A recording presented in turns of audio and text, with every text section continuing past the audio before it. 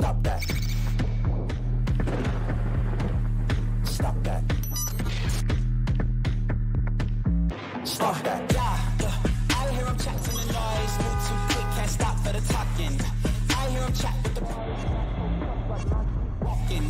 Just too sharp with the prize. White girls let it tell me I'm awesome. Yeah, hot like fire on the pan. If you wanna touch my please use caution. Cold like zero degrees. I'm out the cage, gotta let out the beast. Revolutionary, gotta let out the streets. Locked in a cage, I'ma let out the, let out the, let out the, let out the sheets. We came for one man, forget my peace. You take the west side, take on the east. I'ma put him in the cage, never let out the, let out the, let out the. Yeah, I him chat to the noise. Move too quick, can't stop for the talking.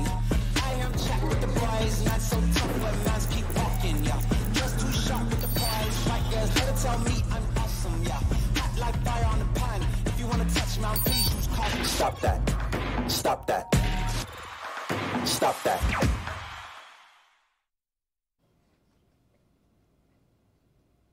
I have mentioned that these grid of death punishments make doing the show more difficult, and the one I'm presently wearing is difficult for a number of different reasons. Uh-huh. My mask is tight in all the wrong places. I have uh, hair underneath. I don't know that it's clear from what I'm wearing that I'm Nacho Libre because you're evidently he usually didn't wear the mask. Mm-hmm. Uh, but also my nipples are showing. It is Yep. it is really cold in here, and furthermore, uh, the pants are really tight in a way that's uncomfortable, and I don't want anyone to see what's going on down with the pants. Like I'm going to have to conceal that throughout the show. And as an added bonus, I can't wear my glasses with a wrestler's mask on, so I can't read any of my notes or anything that I've that I've written down. But let's be honest, you love this. I mean, you do. You love it. You do. Someone described you as giddy earlier Yeah. when they saw you kind of prance like to through dress the up, office yeah. to your studio. Uh, that is uh, falsehoods. Uh, like that is not it's not true in any way. There's not I, I I came through like you could have seen the shame on me covering my nipples with my hands. There there was no giddy on coming through here with this punishment. You honestly look fantastic. You do. Yeah. Surprisingly chiseled. I mean, seriously. yeah. Yeah. I can't stop looking. I want to take a consensus I want to take a vote. Do you guys think Dan likes this? Like, rate show of hands for the people who think Dan does Okay, like this. Yes, let's do the joke of whether Dan gets annoyed or not by falsehoods. That's not a joke we've ever done before.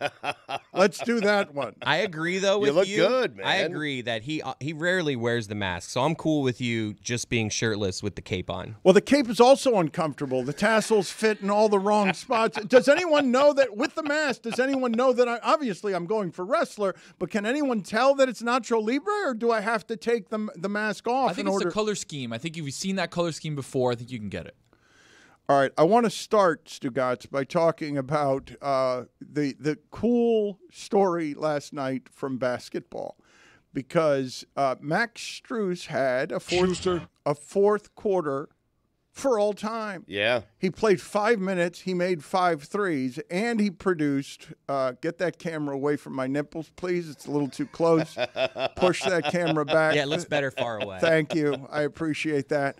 Uh, Stugotz, there's a number of stuff that's great in this video. We will get to both the sad call and the happy call of this game. But let's just play for the audience that did not see this. Dallas is playing Cleveland, and PJ Washington makes a surprisingly easy shot at the rim with two seconds left. And uh, let's not go to that one first. I want to show the whole shot before I show PJ Washington because PJ Washington's reaction is the funniest thing in this entire video. But I will tell you again. Max Strus last night was playing in a game, Cleveland and Dallas, and they're down 10. And in five minutes, he made five threes. Five fourth quarter minutes. He made he went five for five from three. He did it in like 45 seconds, the first four of them, because they were down 110 to 100 with three minutes and 42 seconds left. He hits the first three. Then after a turnover, another three. Then after a Kyrie three, another three. Then after another miss by Dallas, it's another three to get them within one, and then that three at the end. The scoring in this sport is so crazy that what was it that Kevin Love did against the Sacramento Kings a couple of nights ago? Was it 19 points in 15 minutes or 19 Something points like that, and yeah. seven rebounds in in 15 minutes? So Strus makes five five threes in the fourth quarter. And let's just play the ridiculousness of this last stretch here. Cleva to inbound, just to the left of the Cavs bench. All we need is a deflection. Pass deflected by Mobley, but grabbed by Doncic.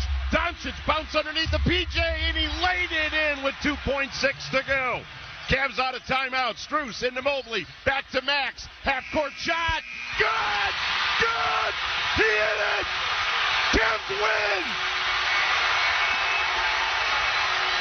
This place is going crazy!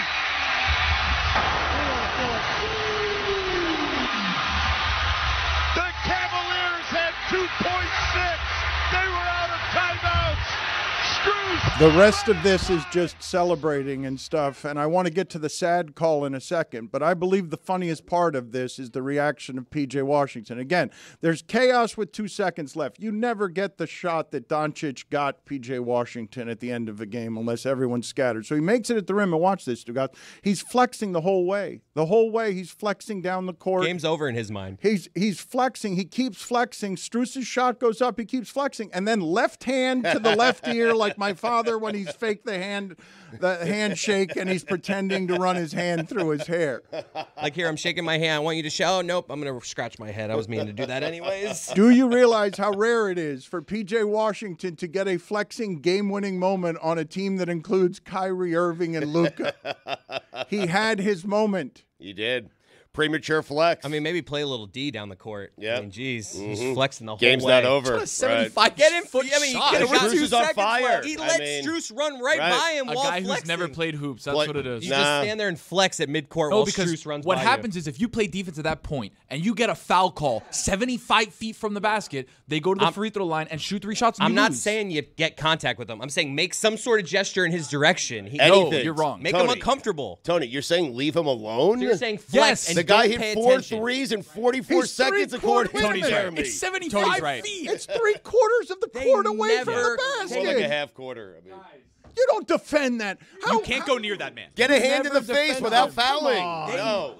Come Guys, on, they man. never call that foul. And I'm not saying touch him. Until I'm- they do. I'm not saying hit him. I'm saying make one step of effort in his direction. Look, so we're watching on TV right now. So he passed it in. Nobody's supposed to be around him. He's look. At the other. Look, Oh, no, somebody. Luka was there. did Luka it. was there. Someone did it. There. All right, I'm just saying. See, but you're you're mad at what Luka did. All I I'm am, saying actually. is do what Luka did there. You just looked at me like I'm an idiot. Like I will clearly- not allow the group of people here to take a three quarter shot and second guess the defense. I'm not going to allow that you guys to see that sports moment and be like, well, somebody could have done something better against it. We just Thank made Dan. fun of PJ Washington. What are we doing here? It's the That's- that's second all longest doing. game winner in the history of the league. Yeah, the but get- defense was irrelevant. But get a hand in the face. I mean, mm-hmm. And Foul him on the inbound. Make it the longest. Come on. Mm-hmm. Just keep fouling him. Because the hand in the face works so often in NBA basketball. Schuster. Get get a hand in the face so Stugotz can be there when you get the hand in the face and he can get more of your hand in, the Take in a his charge. face. yep. Or foul him and I Block, rip yeah, you. bl- block Yeah. the shot. You know he's going to be charging aggressively to take a shot. Take a charge. Are we happy for Strus? I mean, he has to shoot. Exactly Yeah, right. right. And he's got to do it quick, so he's going to be running. Yep. How do Heat fans experience that last night? I I know I'm a Heat fan. Oh, but it's I'm just asking great. I was happy for him. Yeah, me as a too. Heat He made the fan. right choice, right? It's just great and fun. He got his money. Man, he's They're on a- good. he's on a better team. Yeah. Um, he Be is. careful. he- It's he- statistically true. um, They're the two seed. They don't want to see us in the playoffs. No one is taking the Cavs seriously. Like everyone, some people say they, They like should. Boston, some people like the Bucks, some people say the Heat. You know what? I am going to jump on the Cavs bandwagon. Mm-hmm. How about that? Uh, based on no facts, that's the way that you do I that. mean, uh, the two I- seed. I will say a couple of interesting things. You said two seed, but the distance between one and two in the East is larger than the distance between one and eight in the West. Seven and a half back. So your argument Five and a means half better than the nothing. Heat. Yeah. Uh, and beyond that, I would say that Cleveland was exceptional last year, and the reason no one believes in them is because they lost so soundly to your Knicks in the first round. It's the reason why that team. I, I thought that Knicks team was going to drag the Knicks, and the reason the people believe in the Knicks this year and don't believe in the Cavs this year is that first round series is echoing. when you lose to the Knicks that way, everyone knows don't trust them. Do you guys really not think the Cavs are a better team than the Heat?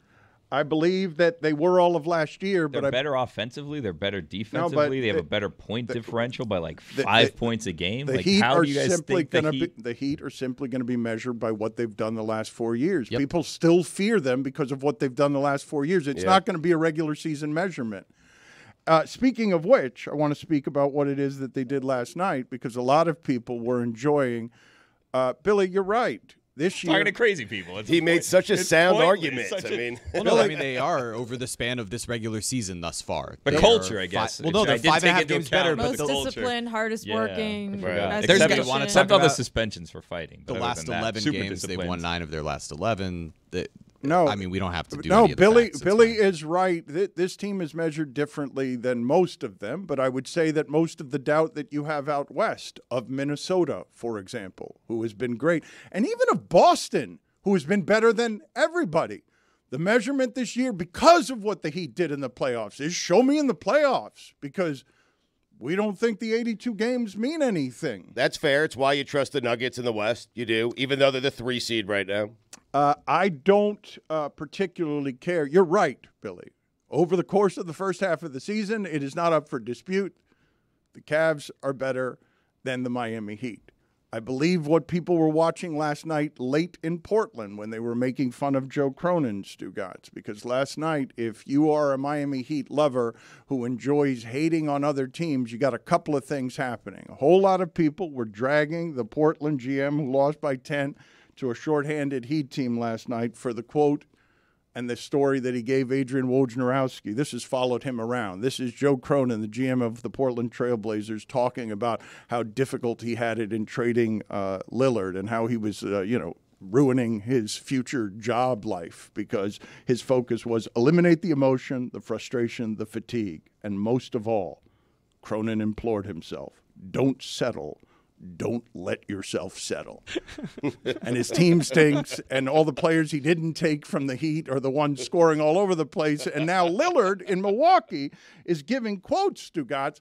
These quotes I was not expecting to see. Okay, he's sad, he's lonely, he has no life. Uh, he is saying in Milwaukee, he just goes home and refreshes uh, YouTube all the time to see if there are fresh fights uh, on YouTube. A lot of and, good fights. And Welcome to furthermore, life in your 30s, Dame. Like that's what I do. We Also, do that in please. Miami. Uh, he'd have a lot more stuff to do in Miami. But the point is, you made your bed. Now you got to sleep in it. Don't don't come to p- complain to me, telling me that oh Milwaukee kind of sucks. I only do this and that. Yeah, buddy, you signed up. You've never been to Milwaukee before. I've been to Milwaukee and I knew that. he is saying that his Milwaukee life now, and the best thing that people usually say about Milwaukee is that it's close to Chicago. You can get there in about 90 minutes. Yep. His life, Lillard's superstar life, he says, is going home and praying that Fight Hype has refreshed on YouTube with no, with new fights. So prayer that your YouTube refreshes, and also he gives you this quote, which is not surprising, but to hear him say it out loud, him say it out loud of Milwaukee season, I thought we was going to be how Boston is right now. Mm-hmm. Because Boston is a lot better than everybody, and they're making it look easy. And people still have doubts about Boston just because of what Miami did to them last year and because they lose game sevens at home. What's Dame doing about it? I mean, about being as good as Boston. I mean, they got him to be as good as Boston, to be better than Boston, and all he's doing is complaining about Wisconsin. Well- I love the state of Wisconsin. Kenosha, one of my favorite places on the planet. There's nothing to do. I mean, so what? He has nothing to do. You know what he's there to do? To do something he's never done before. Which is win an NBA championship. That's what he's there to do. He's not there to party. He's not there to go to the beach. He's not there to drink. He is there for business. He is there to do something that has escaped him his entire career, and that is winning. Well, when I told you, uh, uh, you know, you you just mentioned what's he doing to help Milwaukee be like Boston. I told you yesterday that Milwaukee has one of the top five most efficient offenses in the history of the sport. They don't play any defense, and it's a problem, and that doesn't win in the playoffs. And they're still very good, but the reason they're not Boston is because they don't play any defense. Mm-hmm. Can I go back to Cavs? We'll play for- D. Can I go back to Cavs Heat for a second? Billy was saying that we were crazy. I just texted Tom Haberstroh. Oh, good. He's Abs. unbiased. And he said that He goes in- by the numbers, In a series where the Cavs are at home, the Heat would be favored. After last year's playoffs, no bookmaker is going to favor the Cavs. Okay. I'm just saying, I, am like, just giving you look. actual information. Right, but The that- Heat in but- the in the month of February, the Heat had the best defense in the NBA. They've won nine of their last oh, eleven. here They're eight go. games over 500 for the second time this season. After losing seven in a row, where we were all worried about their offense and their defense, now Jimmy Butler's back playing the most efficient basketball he's played all year. I mean, look. The Cavs are the, the better team over the course of what 58 games of the regular season, sure. But Dan, you mentioned it. They lost to the Knicks in the first round last year, and until they change it, maybe they got a bit of that culture coming from Max Strus. But until they changed that, I, I don't anticipate. but it's not- the Cavs are good because. Max Strus No, brought it's not- culture no, over no. to Billy, Well, no, that's now why you're ar- signed him. Are you going to take every argument against what we're saying? Like you were just arguing Yes. in favor of Are the you not Cavs. familiar No, with I'm Billy's work? asking. Yeah. I'm No, they've gotten asking. better That's because what you're of the saying. They're that better they made. because Max Evil Strus cat. brought culture. He's saying Yeah, that's the difference in their team. The difference in their team That's this year not- Is culture? is ha- is having a player like Max Strus available to them, who they signed for big money for a reason, and being able to to win in the playoffs is a different thing. Like this Miami Heat team, Zach Harper said it on on his podcast a couple of weeks ago. Outside of the Celtics, he'd be the least surprised to see the Heat win the Eastern Conference, and there's a reason for that.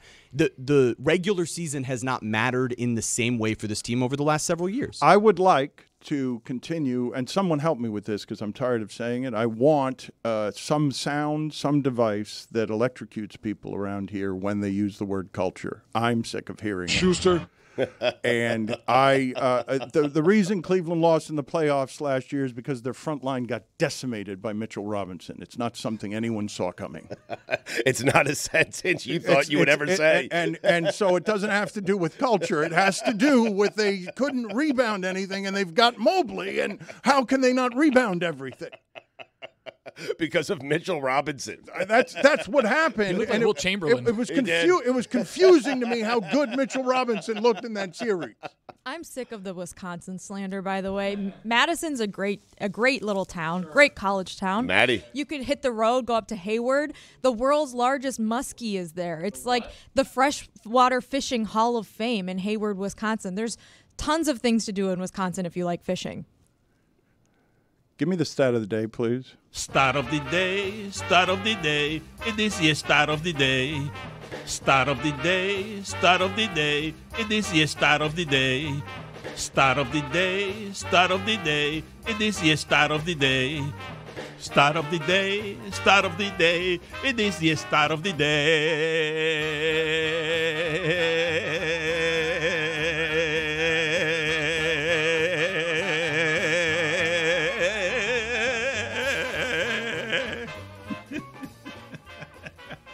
The Miami Heat have won more games in Portland this month than Portland.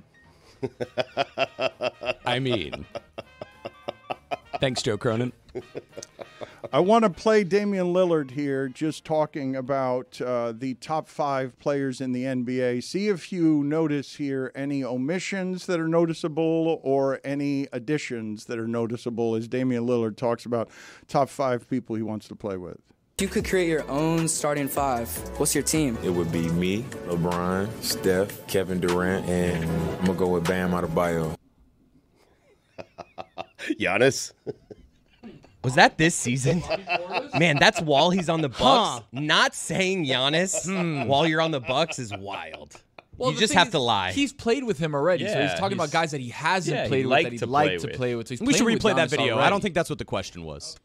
Uh, let's replay the video and see if we can trap Damian Lillard on not liking Giannis and liking Bam more than Giannis. If you could create your own starting five, what's your team? It would be me, LeBron, Steph, Kevin Durant, and I'm gonna go with Bam out of bio. I mean, That's it. Didn't say create no- your own starting five. Not guys you have played with or don't Hmm. want to play with or do want to play with that you don't presently If presently you play pick with. Giannis, though, you have to also pick his brother. It'd be like if someone was like, "What radio host? That's do you- already two. What radio host do you want to work for?" And I was like, Mike, Green, Mike Greenberg, Colin Cowherd, Pat McAfee, Bill Simmons, Rosillo, and Rosillo. Yeah. Can I give you a hot take? The Bucks are going to be fine in the playoffs. Really? Yeah, the play the, the regular season for the NBA doesn't matter. You just He takes every argument. No, I'm just saying it doesn't matter. You guys are dismissing the Cavs, saying they're not good, and it's like, well, they have been better in the regular season, but it doesn't matter. But defense matters. The Bucks will be fine in the playoffs. We'll play defense in the playoffs. They're Like- gonna have Damian Lillard, Lillard and Giannis in the playoffs. They'll Lillard, be fine. yeah. yeah, It's a tough one. they'll be okay. I, I'm with you totally. He's and right. Middleton. He's right. They're gonna play the Sixers without him. The Heat made it to the finals as an eight seed last year. Like the playoffs, the regular season is irrelevant in the NBA. I don't know why we put so much weight on it. Well, one other thing that is also irrelevant because I don't think anyone's putting any weight on it. I believe that that's Well, we're talking about it like if it matters. Well, it happens to be the sport that's going on right now. But it doesn't that, matter. That more the most It's people outside are- of football season, Billy. Well, uh, Stugotz has a top five list of things we talk about that. because it's outside of football season. He's got a number of top five lists available to him, and everything that you're saying there is fair. But when it comes to illegitimate commentary, though, and I saw this on Jessica's face, I'm not sure if I recognized it or not, but Stugotz coming out a day after, right? I, I really, I flinch every time around here. We make fun of some city being terrible because I think of all the listeners we have in that city who are hurt by Stugotz con- condescending their city. So yesterday he went after all of Indiana, while today saying how Wisconsin is one of his favorite places. And I simply don't believe that the words he's saying are anything but flabbergasting lies. Uh, Jessica, I know you tend to support Stugotz in most of his stupidities, but I thought I saw in your face something that registered. My God, how can he say that with a straight face? It's the constant on the Midwest for me, Dan. I support Stugotz in almost all of his endeavors, but you said it. Indiana, now Wisconsin. What next? Minnesota? I mean, listen, Iowa? I love, Ohio. I Illinois? love, I love Chicago, ah. great city. I love Evanston. I said I love Kenosha, one of my favorite cities in the United States of America.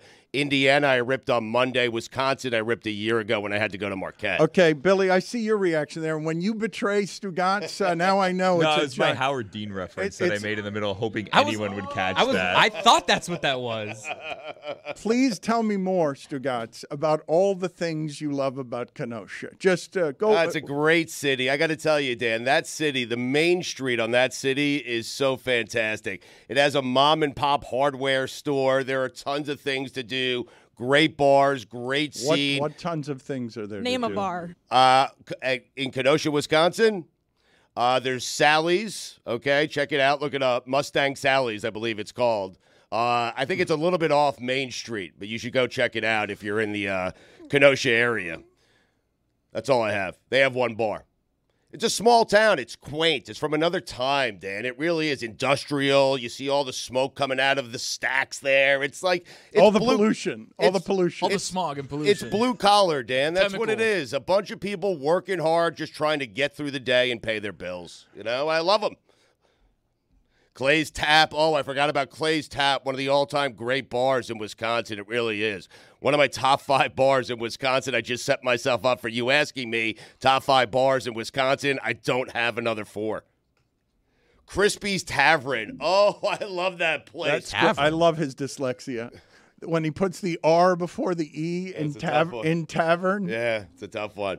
But I love a good tab, if you know what I'm saying. You get some good beef stew there. You get some good shepherd's pie there. You get a couple of nice beers, you know, some good chicken wings. Great scene. They have trivia night every Wednesday. The other thing we got wrong, I got a couple of things wrong yesterday. Evidently, I left out the Rat Race Lounge. what a great place. Drink specials every Thursday night. I mean, it's amazing. Great jukebox. They have a cigarette machine in there. They do. Old school. I can't argue with this because I think I think Chris is just reading him He names is. of I bars. mean, I'm watching- and all I'm- of the things Stugotz is What making up about about? them The is Rat probably Race- true. The Rat They Race have Lounge has a cigarette machine. I'm, just, I'm Thank you. watching Chris Cote Been there. Uh, look up everything, and and I believe he also emailed or texted Stugotz a menu from a local tavern. I love cheese curds. Charlie's 10th hole, Dan. It is fantastic. It's a nine hole golf course. Usually the bar is the 19th hole. Go yourself. They have the 10th hole. Yesterday on the show, David Samson came on and read a cease and desist on Greg Cote. It really kind of backfired on him trying to just uh, do business correctly and professionally. And a lot of people have written in complaining about just in general all of it. I can't do any more merch store drama. Bleep the merch store. I'm so tired of hearing about the merch store's content. I think we all need to boycott it so it'll close down. They can't still be trying to make content out of this. Who needs $40 t shirts, anyways? Rise up, cancel the merch store. Uh, there is a new discount code uh, at the merch store, Hee Haw 21. It's 21% off all Vegas themed items. It is more than the Samson Sucks 20 discount of 20%, and it is live now, levitardaf.com. Uh, that went more poorly for you than I imagined that you thought it would, right? You are over here just trying to enforce rules, and Greg Cote is uh, braying laughter in your face. I was just doing the job that you asked me to do, and it was not a bit. It was it was just something that had to be communicated, and it was much easier to do on the air because it's hard to reach Greg. He's such a superstar now. He doesn't take calls. He doesn't do anything but Greg Cote's show. And does he still write for the Herald? He does. I don't know if he does columns anymore, but between your show and his show, the only way to do it is on your show. But I think the bigger point is a real point. Uh, there's great stuff on lebitardaf.com, and we just have to be clear to everybody who owns what. And Dan, you were very clear to me that you own all. Uh, Jeremy, uh, I was not very clear to you. You and I did not have that conversation. Skipper took the merch store as soon as we came over. So and- to be clear, after yesterday's merch store subject being not going well, we're doing it again. That is today. correct. Also, uh, on top of that, Jeremy uh, was told, how about this one? He learned secondhand that they're now turning down tour dates, that Greg Cote toured it, uh, turned it down when Jeremy wanted to do it. Yeah, that's where the money's made. We've all seen from the Eras tour that you can make money Right. off of touring. It's not about the merch, it's about the tours. And I'm finding out by listening to this show that Greg Cote is turning down possible money-making opportunities for us in our touring days. I'm I'm I'm not happy about this. It seems like Greg and Yeti are sort of creating their own business They model are, where they're yes. the hee haw too Yep. and excluding me from a lot. And I'm I'm not enjoying that. Well, Greg is the front man. It's his band, right? He's the lead singer. He Right. decides. But listen, he has to feel like he's in the mood to do a some certain show. Right? Well, no. No? We're the Hee Haw 3. We're supposed to be a unit. It's unbelievable. Think the Rolling Stones tour without Mick Jagger wanting to tour? Yep. Uh, thank you for mentioning that because we've got some Paul McCartney video that I want to play for you and the audience here about Foreigner. Foreigner has been nominated for the Hall of Fame. I introduced my wife to Foreigner recently and told her they should be in the Hall of Fame. What's Paul McCartney saying about Foreigner in the Hall of Fame? Foreigner, not in the Hall of Fame. What the f? What was that? I'll play it again for you just so that you understand more specifically. Foreigner, not in the Hall of Fame. What the f? How old is McCartney? He's like 81.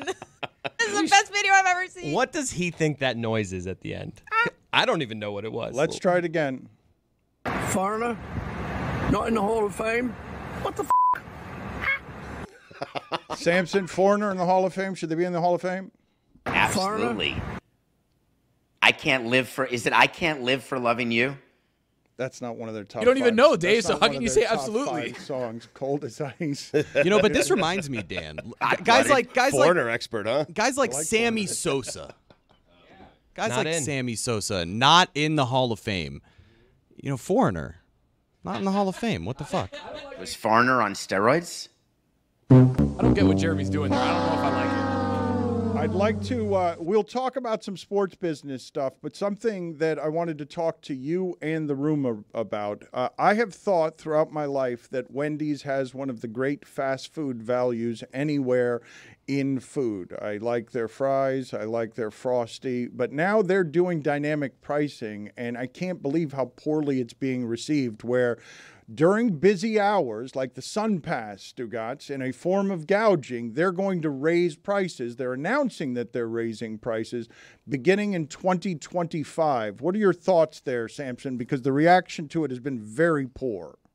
Yeah, I, I, I think that it came out, it didn't come out from a PR. It actually came out in an earnings call where they were projecting what's happening in 2025. And there were big expenses that are incurred in 24 to make all of the boards digital, all of the menu boards digital at Wendy's, because that's the only way you can have dynamic pricing. So the board had to get explained in earnings and analysts, et cetera. But let's talk about dynamic pricing. It reflects actually what people are willing to pay for a product at any given time.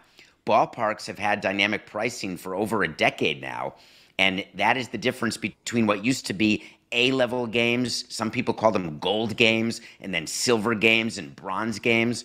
And the reason why that was stopped is opposing team owners did not want to be categorized by the home team as being a bronze team or a, you know, a unshiny object. So they changed it to this dynamic pricing where, hey, let the fans decide what they're going to pay for a ticket. And I think this is the beginning, not the end. It's sort of like streaming. You better get used to it. Dynamic pricing at fast food, that's not going away. Can't they just do it without announcing it? Because I feel like more, like I feel like that's an easier way. The PR like of just this headline, it's just not a good look. It they, they had to discuss it during an earnings call and these earnings calls go public but the rules are when you're a public company you are forecasting you're projecting you're explaining and then you're trying to get the street wall street to understand where your company's supposed to go.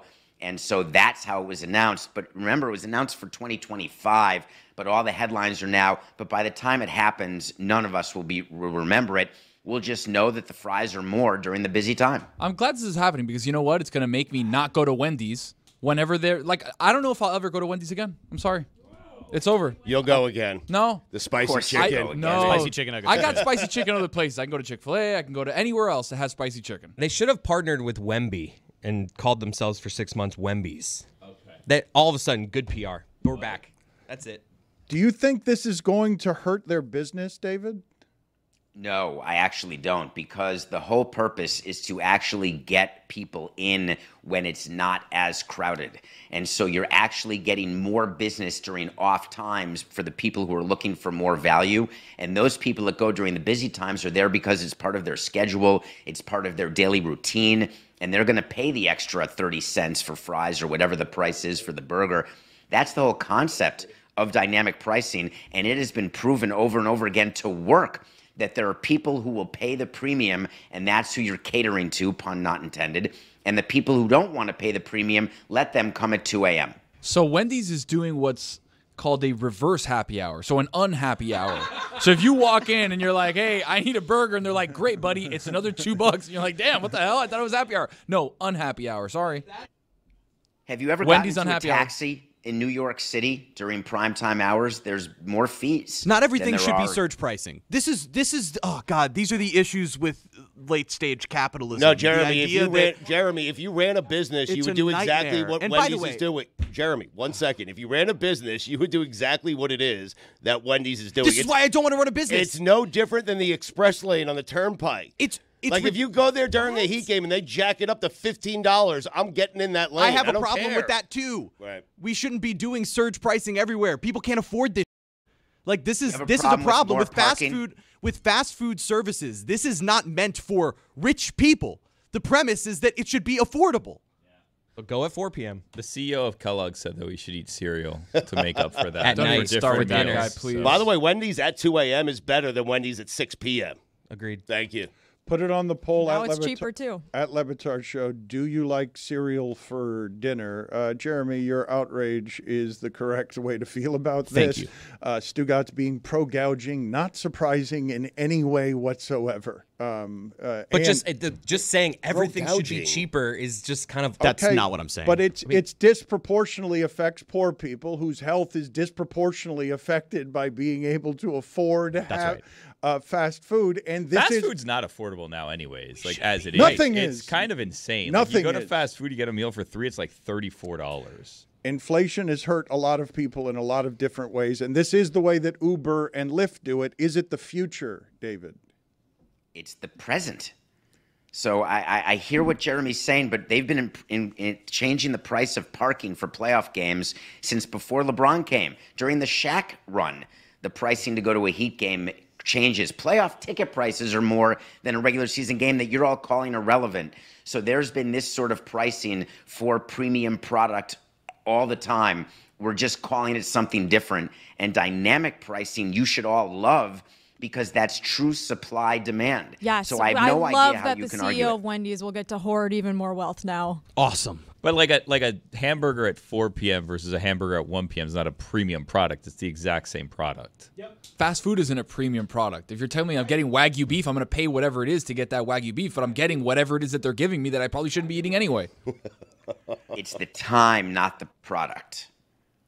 It's the affecting disproportionately of poor people and the gouging that is offensive. Well, it's like the lack of consumer protection that like companies will just continue to Billy and Billy and Tony are arguing over the I, I- I mean, pronunciation Dan, of Wagyu I am gonna now. go over there and like fly choke slam Billy. I swear to you. I didn't say days. anything, I man. swear to you, Dan. Do you want the Nacho Libre costume? Have you ever been on an airplane and had to choose a different time because there's a lower price if you take a 7 a.m. flight versus an 11 a.m. flight? Off peak, Air travel is a luxury. Also, I, I think that that that's not even the point though, because there there are people that think that uh, airlines price gouge and that's bad, and there should be some sort of limit to it, especially because in this country there's not really many ways to get around. Compared to in Western Europe, where you can take a flight for fifty dollars somewhere, or take a train for fifty dollars somewhere. In the U.S., you're limited by your options. Yeah, obviously it's a it's a big country, but so Europe is also very large. Uh, this is a it's a bad comparison, and this is besides the point. We're talking about a product that is like you know five dollars, four dollars. This is just a terrible decision in PR to not just say, hey, we're raising our prices, but we're going to have happy hour now, like Tony said. We're going to do, if you come between four and six, you get a dollar off your Baconator or you get a, a 50 cents off your Frosty. And instead, they're like, hey, no, we're going to do dynamic pricing because we're a stupid little tech company. Would it be better? Would you burger. would you guys like it better if it was just all prices are up? If you guys pay attention, They are. They have been They going already up are. for No, I know. I'm just saying if this headline No was one's ins- happy. They also they also fast food places also have different prices based on location. Like so you can go to a McDonald's here and a McDonald's five blocks, and if you pay attention, it's like thirty cents different. There's different prices at every McDonald's. it's not quite what we're presently talking about, though. We're talking about this for a reason. Dynamic We're- We've got more with Samson next.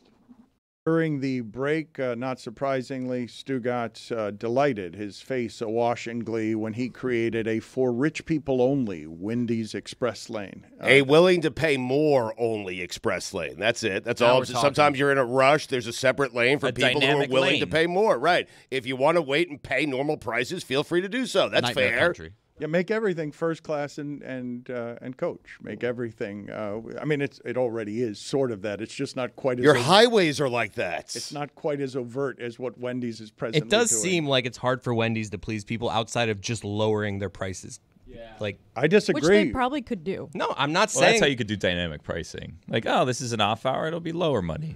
Before this conversation, I've always thought of Wendy's as a place that only pleases people. That it's a place The that is Frosty. is I only mean- pleasure. I would bathe in a bathtub full of that frosty. Stu just got me back with the frosty. He did. Things were different when Dave was around, Dan. That Ever is since we lost Dave, That's true. things have been totally different. Do you guys buy the frosty key tag? I have one in my wallet. So it What? used, Can I this is see a whole. This That is a must be from nother thing. six years ago. No, this is from this year. It says 2024. Before you could buy that frosty key tag for one dollar, and it is always at the end of the year. So you get the frosty key tag, and with any purchase, you just show them that, and they give you a small frosty for free. With any purchase, it used to cost a dollar. Now it's up to three dollars. It's gone. Last year was two dollars. Now it's three dollars. That's still a good deal. It, it kind of is though. A And like year's this supply- is this is arguing supply. David's point is that like I'm now paying triple what I paid two years ago for it. But in my head, I'm like, well, I just get three frosties a year and it's already paid for, so it's good. I was willing to pay three dollars for it when two years ago it only cost one dollar. We have been remiss in not celebrating. Where'd that my key tag go? David Samson. Jeremy has it. And Nothing Personal have celebrated today. He just got off the air celebrating their thousandth episode. Um, are we doing anything more to celebrate that with David other than that crappy fanfare? Well, like we do around here, we want to celebrate his 1000th episode in song. We love you. We've got you. We've all got each other. Let's go right now. One, two, three, Brett. One, two, three, Brett. Why am I sitting in a ball glove chair? You're the strangest guy alive. Sold a team for about a billion all business, nothing personal, honey. I'm cashing in on this podcasting money. It's time to celebrate 1,000 episodes where I tell you to wait to see. oh, as I'm running through the tall skyscrapers, got some news that made me go pee pee. There's a new show in town, Pablo Torre finds out, and I'm seething with the jealousy. Put me in the main show feed. What's the problem with the movies that I'm seeing? Yeah, that Virk is out of touch. I find it hard to have human feeling, and you fear dogs a bit too much. Dan Le Batard says I'm made out of wires. The word of the day is short selling buyers. It's time to celebrate 1,000 episodes where I tell you to wait to see. Are you gonna download another thousand episodes? Well, I guess I'll have to wait to see. That really doesn't feel like a celebration of David Samson or his thousand episodes. He does like the song, though. We do a thousand every three weeks.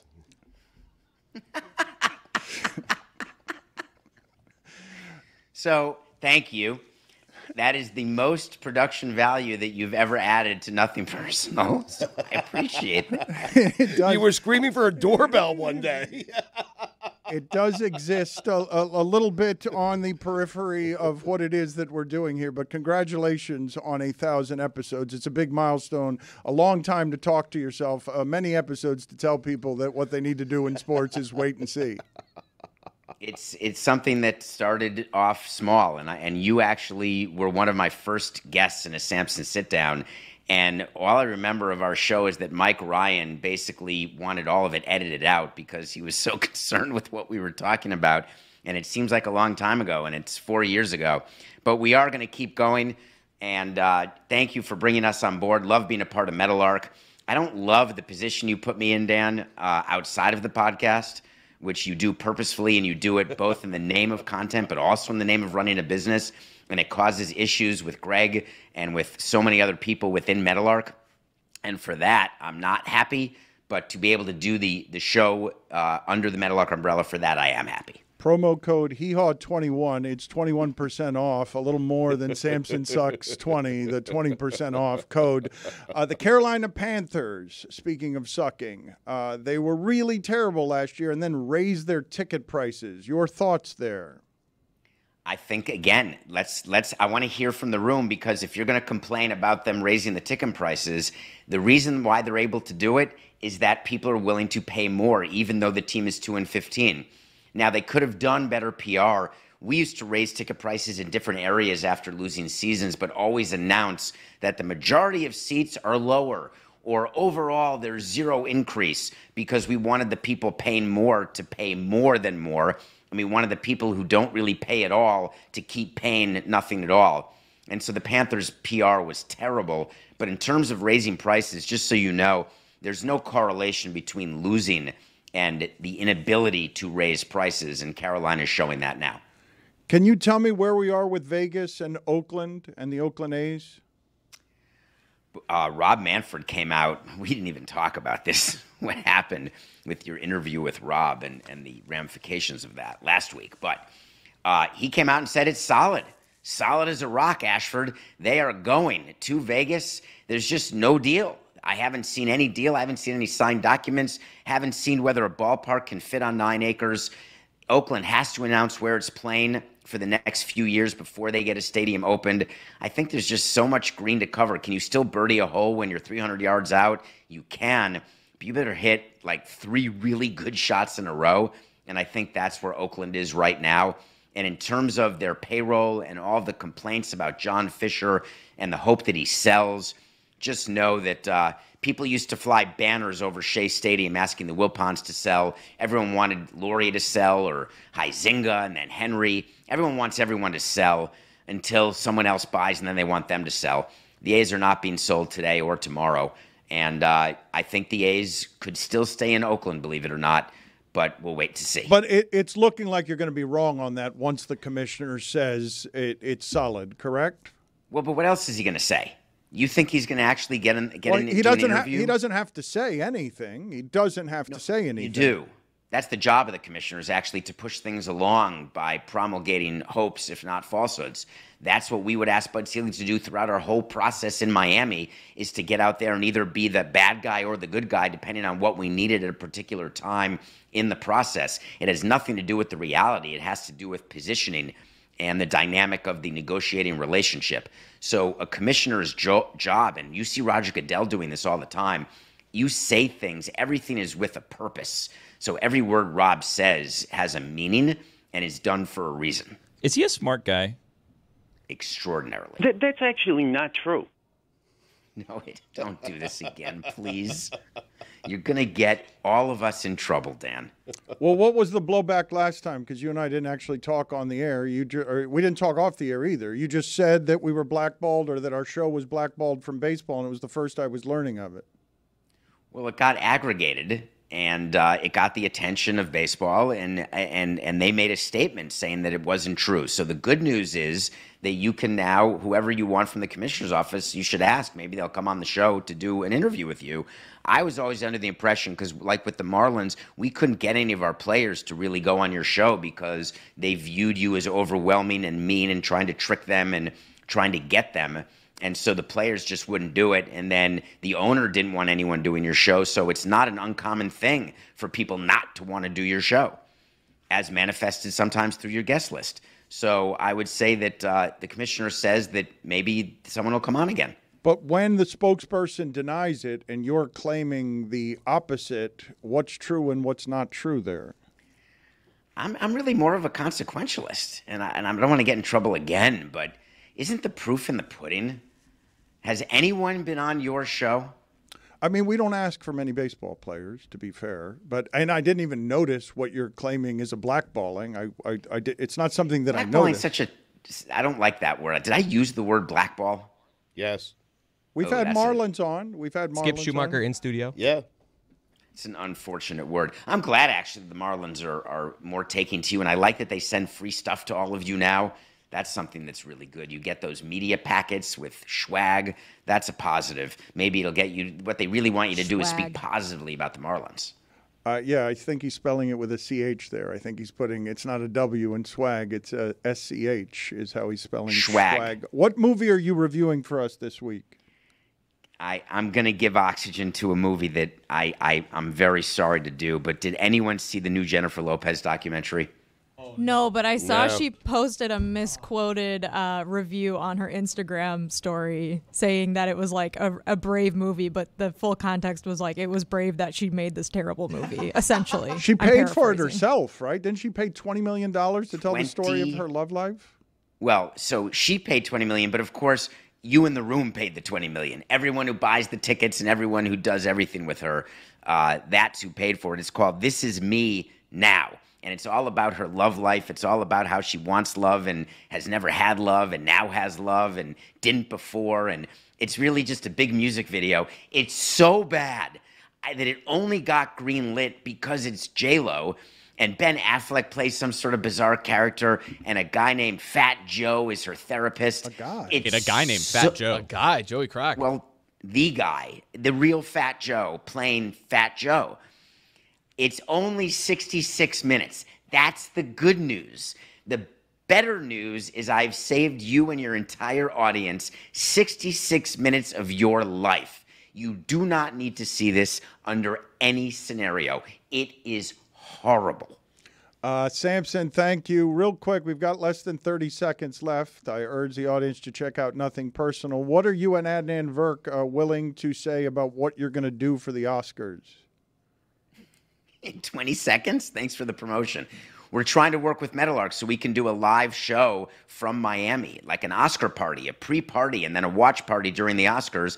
And I have no indication whether it's greenlit or not because I can't get anyone to return a call. So, Dan, if you could possibly, the Oscars are like in 10 days. Okay, great. So it'd be good to know. Great, great. Uh, you're all invited to a party that none of you are going to attend, an Oscar party that we may or may not do. Thank you, David.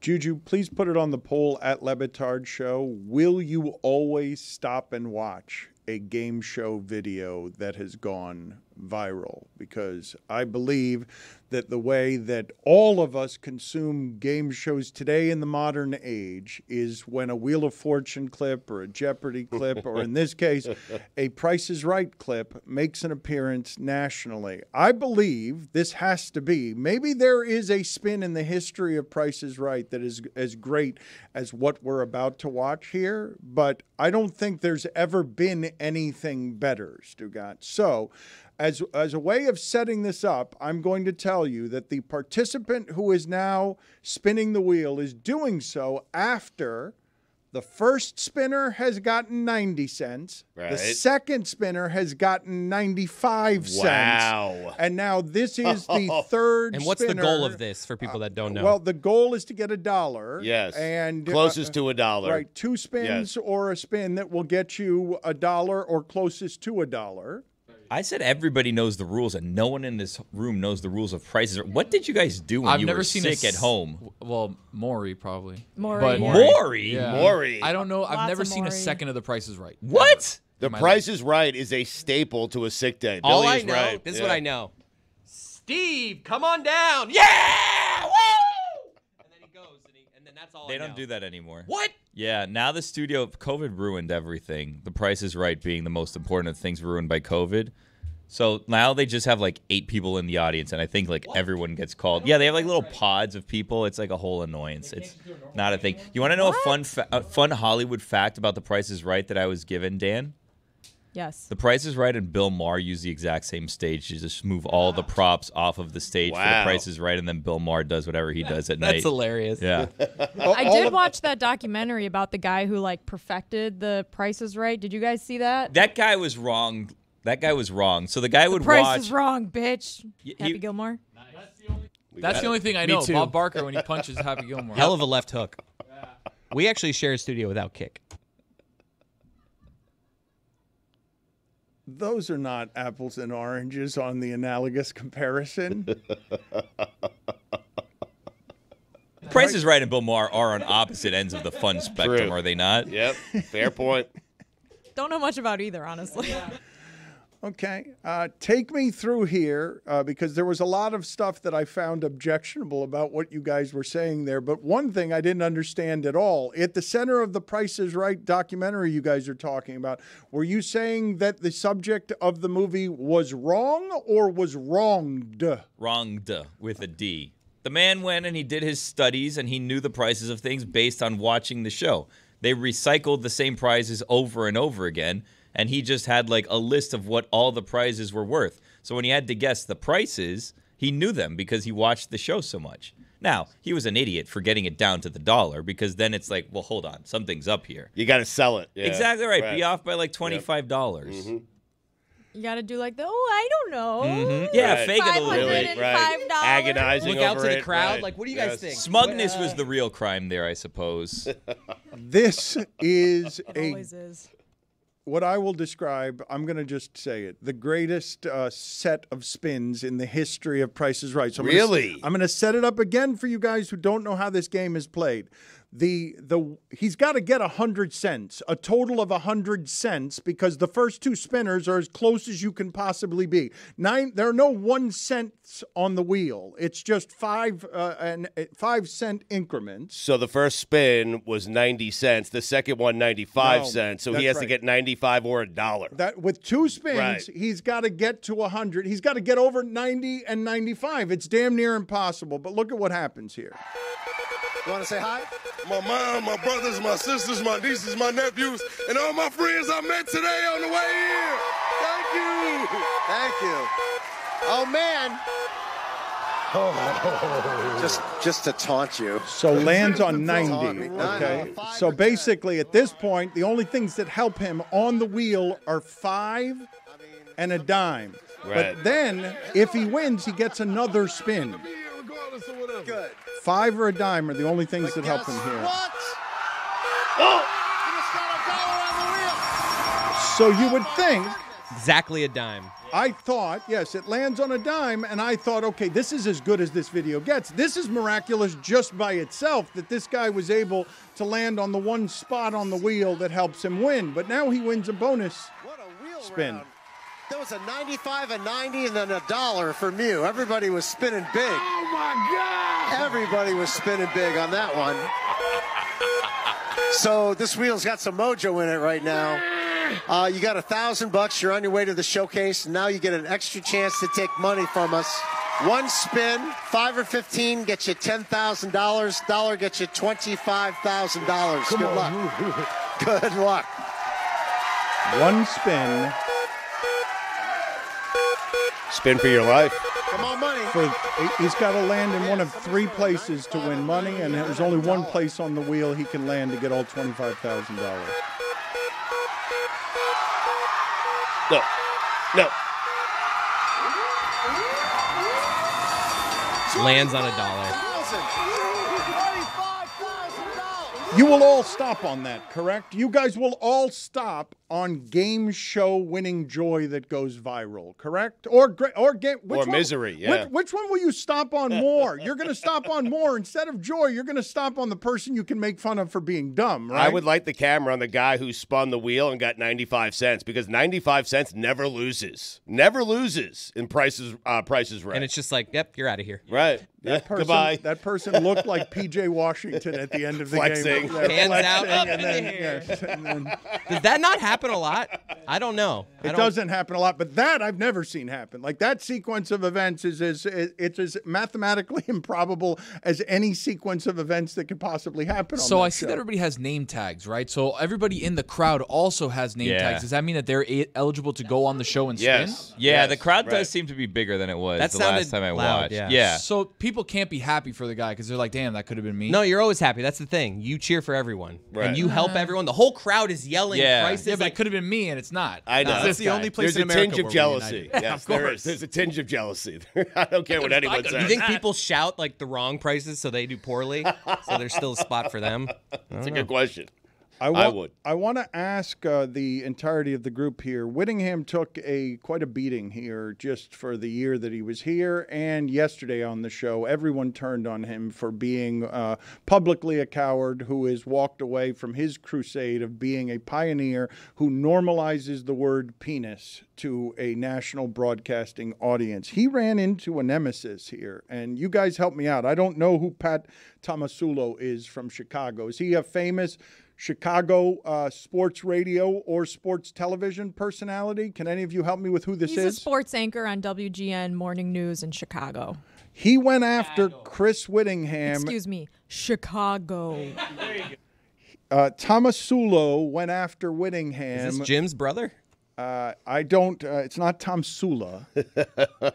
it's not the swamp, mon- swamp monster. I'm glad you brought him up, though. J- Yeah, thank you. That didn't stop me at all. It was a very good joke with Brings a us total- back to a totally different name, not the accurate name or the guy that I'm talking about.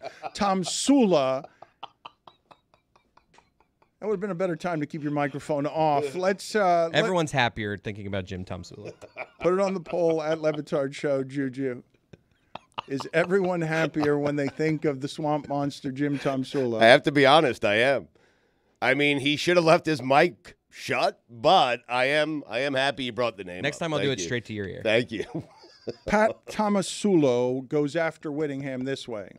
Broadcasters are on platforms smaller than that that don't use the word either. And so, why am I going to continue? It, we, we made headlines, it turned into a thing on the show. This is a big program with a big reach, and yet somehow I was the only one.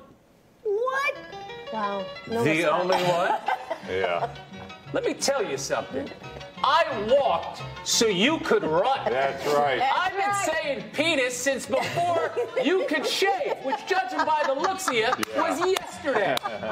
Nobody else is doing it for the last 10 years. You turn on this show any day of the week, I might say penis, I might say testicles, I might say vas deferens, frenulum, corpus spongiosum, prostate, whatever I gotta say to accurately convey information to my viewers is what I'm gonna say.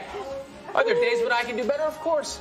Sometimes I'm lazy, and I might say that a guy got hit in his Indiana Bones or his Chuck Dickens, but I will be damned if I let you ignore the sacrifices I have made in the name of journalism and, quite frankly, for a better America. In Yeah. America where every Yeah. man's broad stripe and bright stars is treated with the dignity and respect they deserve. Oh, That's right.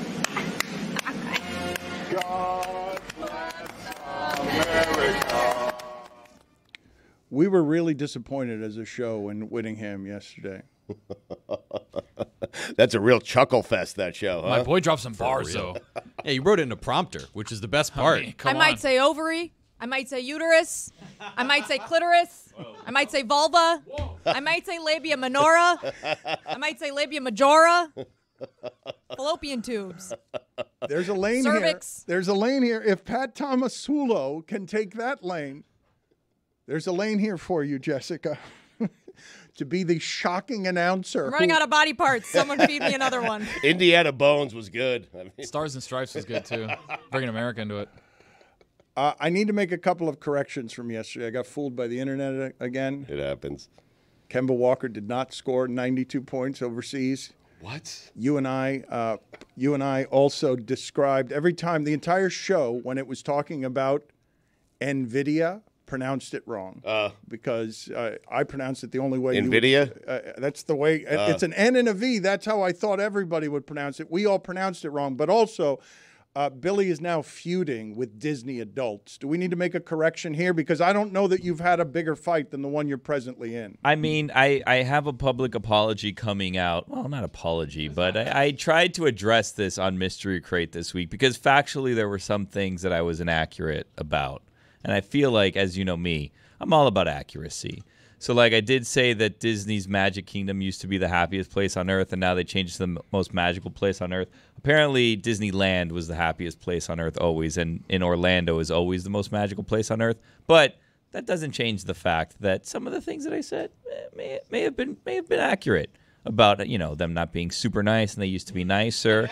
And then I said that there should be separate lines for adults and there should be separate lines for people with children. And then Disney adults were mad about that. And I said, you know what? I feel like if you actually think about it, this would make a faster experience for you guys as well because kids take forever in these lines. But they weren't happy about that. So I might say hymen. You Look. allowed to say these words in Florida? Is that, is that a car? I mean, what are we talking about here? That actually was a joke on Curb. Like two like two weeks ago. They were talking Volvo. about that. Yeah. And then Leon was like, I know what that is. Safe ass car. Volva is the one. Volva is the one that made me laugh, and I do. I do wonder if any of those words uh, are allowed to be said in the state of Florida. Any one of them. I'm not sure. Uh, I, we might have to bleep all of those out now. Uh, Stugotz, I am having trouble, as many people are, because uh, when Look at you. when Billy when Billy says he is all about accuracy, I feel like it's harder to be accurate than it has been in a while because I'm watching Drake Maye throw a ball effortlessly 80 yards and I have to go around the room and ask everybody, is this a real thing or is this like what they did with Michael Vick in a Nike commercial many years ago where he threw a ball out of a stadium because everything can be changed by artificial intelligence. That was real. That one was real. Drake Maye effortlessly throwing the ball 80 yards. I know Caleb Williams and some others aren't going to be throwing at the combine. Drake Maye clearly will be throwing at the combine if that's what he's going to show off, isn't it? I was talking. not. I was talking about the Vick one, by the way. He's not going to throw at the combine because he released that video and everybody's like, okay, he's got the chooch. We don't need to see him throw. Hmm. That, but the so we know this video is I'm real. staking my claim that the video's real. Tony told us. Are we getting close to the point where like potential draft prospects could decide to not participate in the combine and release AI videos of themselves doing things they can't actually do? I love that. if there's a way to do it, Bron is going to do it for Bronny soon. That's weird. Like that story's weird, right? Yes. Which part of it? Well, where he was like talking up his son and saying he should be drafted high, blah blah blah, whatever. And then as things are playing out, and obviously, you know, his son had a medical issue and like is coming back from that. But as things have played out and people have projected his draft stock falling, now LeBron has pulled a 180 and he's like, why is everybody putting so much pressure on him? He just let him play, and it's like, well, you you did this. Let him be a normal kid. On March 6th, LeBron tweeted, Man, Bronny definitely better than some of these cats I've been watching on League Pass today. Lightweight hilarious. No pressure. With laughing emojis. And then yesterday, can y'all please just let the kid be a kid and enjoy college basketball? he can't be a normal kid, Dan. He's LeBron's son. I mean, I don't know what LeBron is doing here because a guy posted a mock draft, had had Bronny going in the second round. And by the way, if I'm the Knicks, I would trade up, get Bronny this year, and I would get LeBron James. I would do that if I'm the Knicks. But a guy did a mock draft and he had Bronny in the second round, and LeBron commented on that and then deleted the tweet. That's absurd. Like, what are you doing? The reason there's pressure on Bronny is because of you, because you're his dad. And that's okay. It's okay. But you, he's added to the pressure with "I want to play with them," like basically telling Yes. him get out of college as fast as you can because So I, can play, with you. Yeah. It is understandable that all of the internet will fall on the head of America's most famous athlete and uh, you know a sports an American sports internet pioneer in terms of following. Parents make mistakes all the time. It's a fairly regular thing.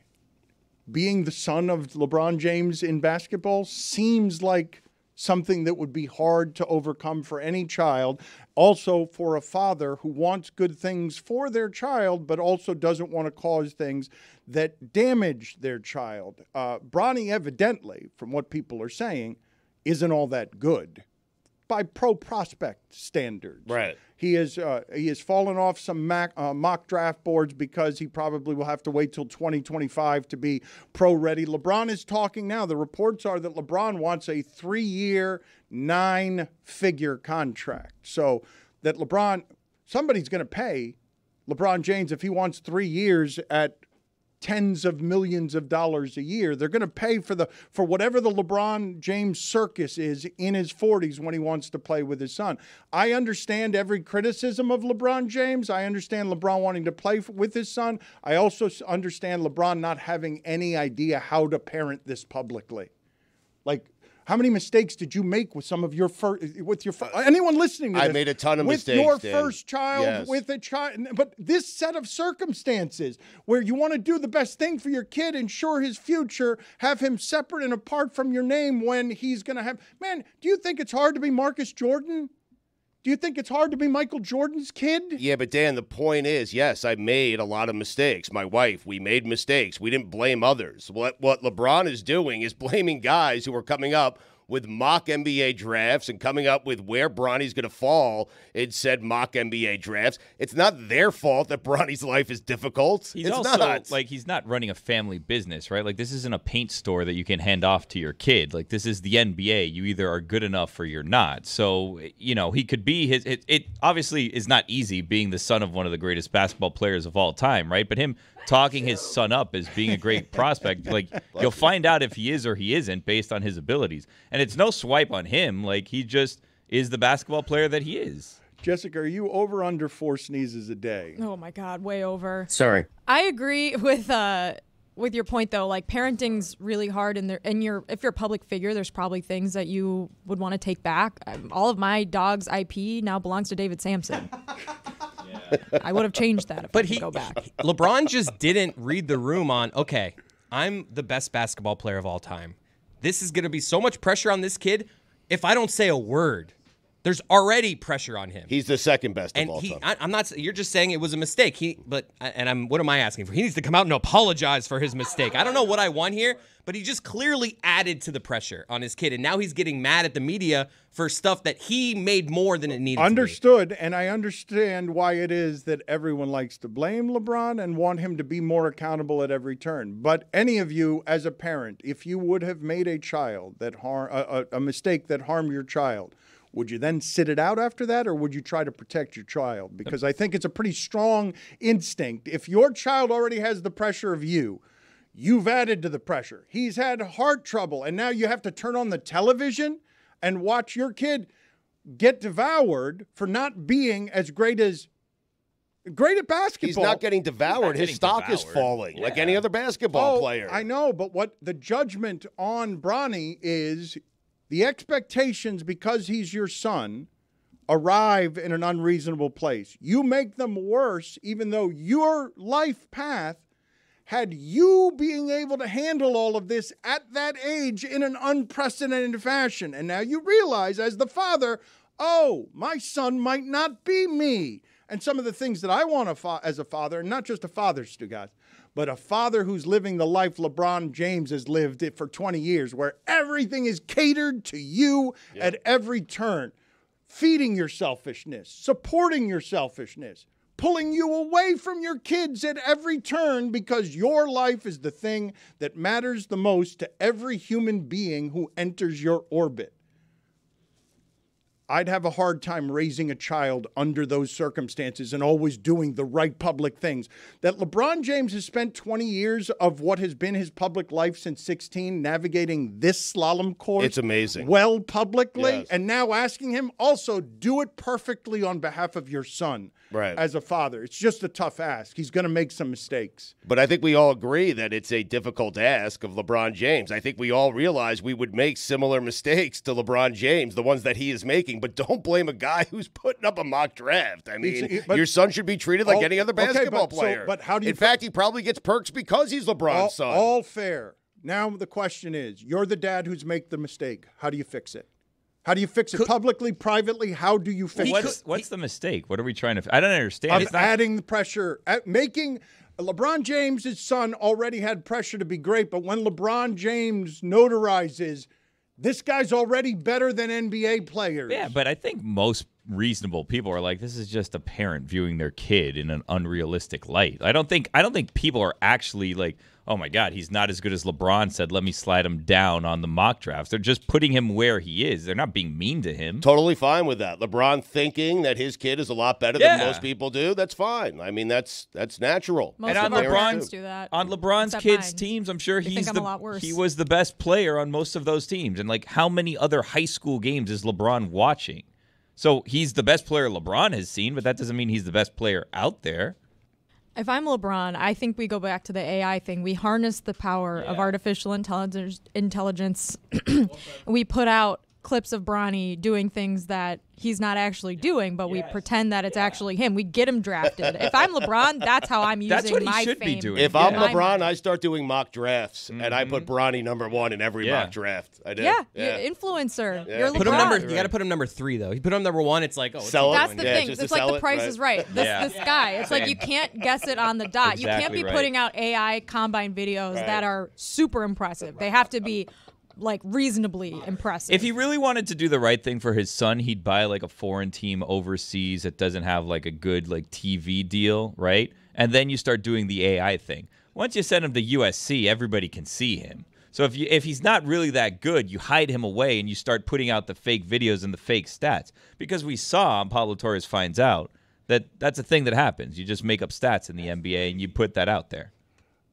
For those of you who do not know, uh, that is a Tom Haberstroh story involving uh, the Grizzlies statistician, and Yep. uh, Pablo Torre finds out he's doing some excellent journalism there. What were the, the what were the most amazing things you learned about the all of the fraud in the '90s? Well, what was amazing about it is that it seemed like this was all just a marketing ploy. As the Vancouver Grizzlies were a new expansion team, their stat guy got direction from the team hey, juicing stats here and there while we're at home is okay. So there was an example of he said he was a Lakers fan, and Nick Van Exel ended up in a in a classic game of his with 23 assists. But when you go back and look at the film, there's an example in the first play of the game where the ball's inbounded to him, and then he gives the ball to Eddie Jones, and that's not on screen. And then Eddie Jones dribbles six times by himself up the court, pump fakes, hits a three. Van Exel gets the assist. So what it says is that while guys were at home, the splits on blocks, on steals, on assists, it was all greater for those teams. So Michael Jordan, when he wins Defensive Player of the Year, mm-hmm. numbers are a bit juiced by the Chicago statisticians in '88. No, they're not. Okay. Who are we ripping here? Who do we rip? Right. It's a great Everyone question. from the '90s. We don't need to rip anyone. We just that's what LeBron needs to do to be a good parent. Lie about your child. And No, he but did who's- it. No, but, who's the fraud? Like whose stats were inflated so much? I just want to rip someone. Who do I rip? Stockton, maybe. Hmm? Stockton was uh, the example that they used. Lot Of of like, yeah, you give that guy an assist. He's John Stockton. I think what you want to do here, Stugotz, so that you can always put yourself in positions to win. I think who you want to rip is LeBron James as a father. I think is what you want to do. I think an NBA executive uh, was quoted as saying the upside for Bronny James is Gary Harris. That that is the upside. Uh, that is the highest point. And if he makes it to the NBA, Stugotz, that by itself is a monumental achievement. Whether No he has the the bloodline or not, to get to the top one percent of the top one percent of there are 450 people in the world that get to play this sport at the top end. If he gets to Gary Harris, that's gravy. I mean, he's made a hundred million dollars in his career. That's all that matters, of course. Is I'm uh, just saying, you've made it to the NBA, the highest level of your sport, and Gary Harris, we'll laugh at it because it's LeBron's kid and it's Gary Harris. But Gary Harris is a decent player who made $100 million.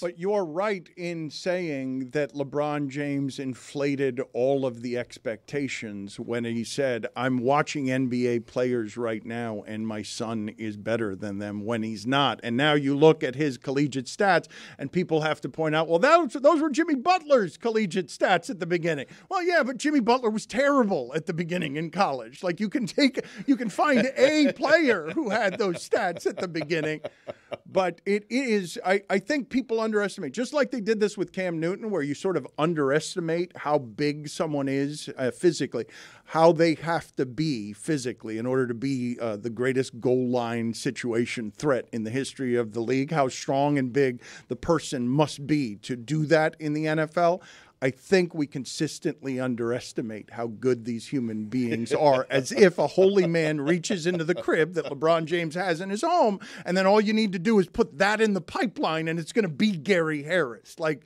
there are a lot of things that have to happen other than LeBron James's sperm in your system. I think what's hard for the kid, for Bronny, is people will think or suggest or ask, did he have to work as hard as every other kid? And if you're projected as a second round pick in the NBA draft, then you've put the work in. He'll have to deal with that for the remainder of his life. Is it nepotism? Why is he getting these opportunities?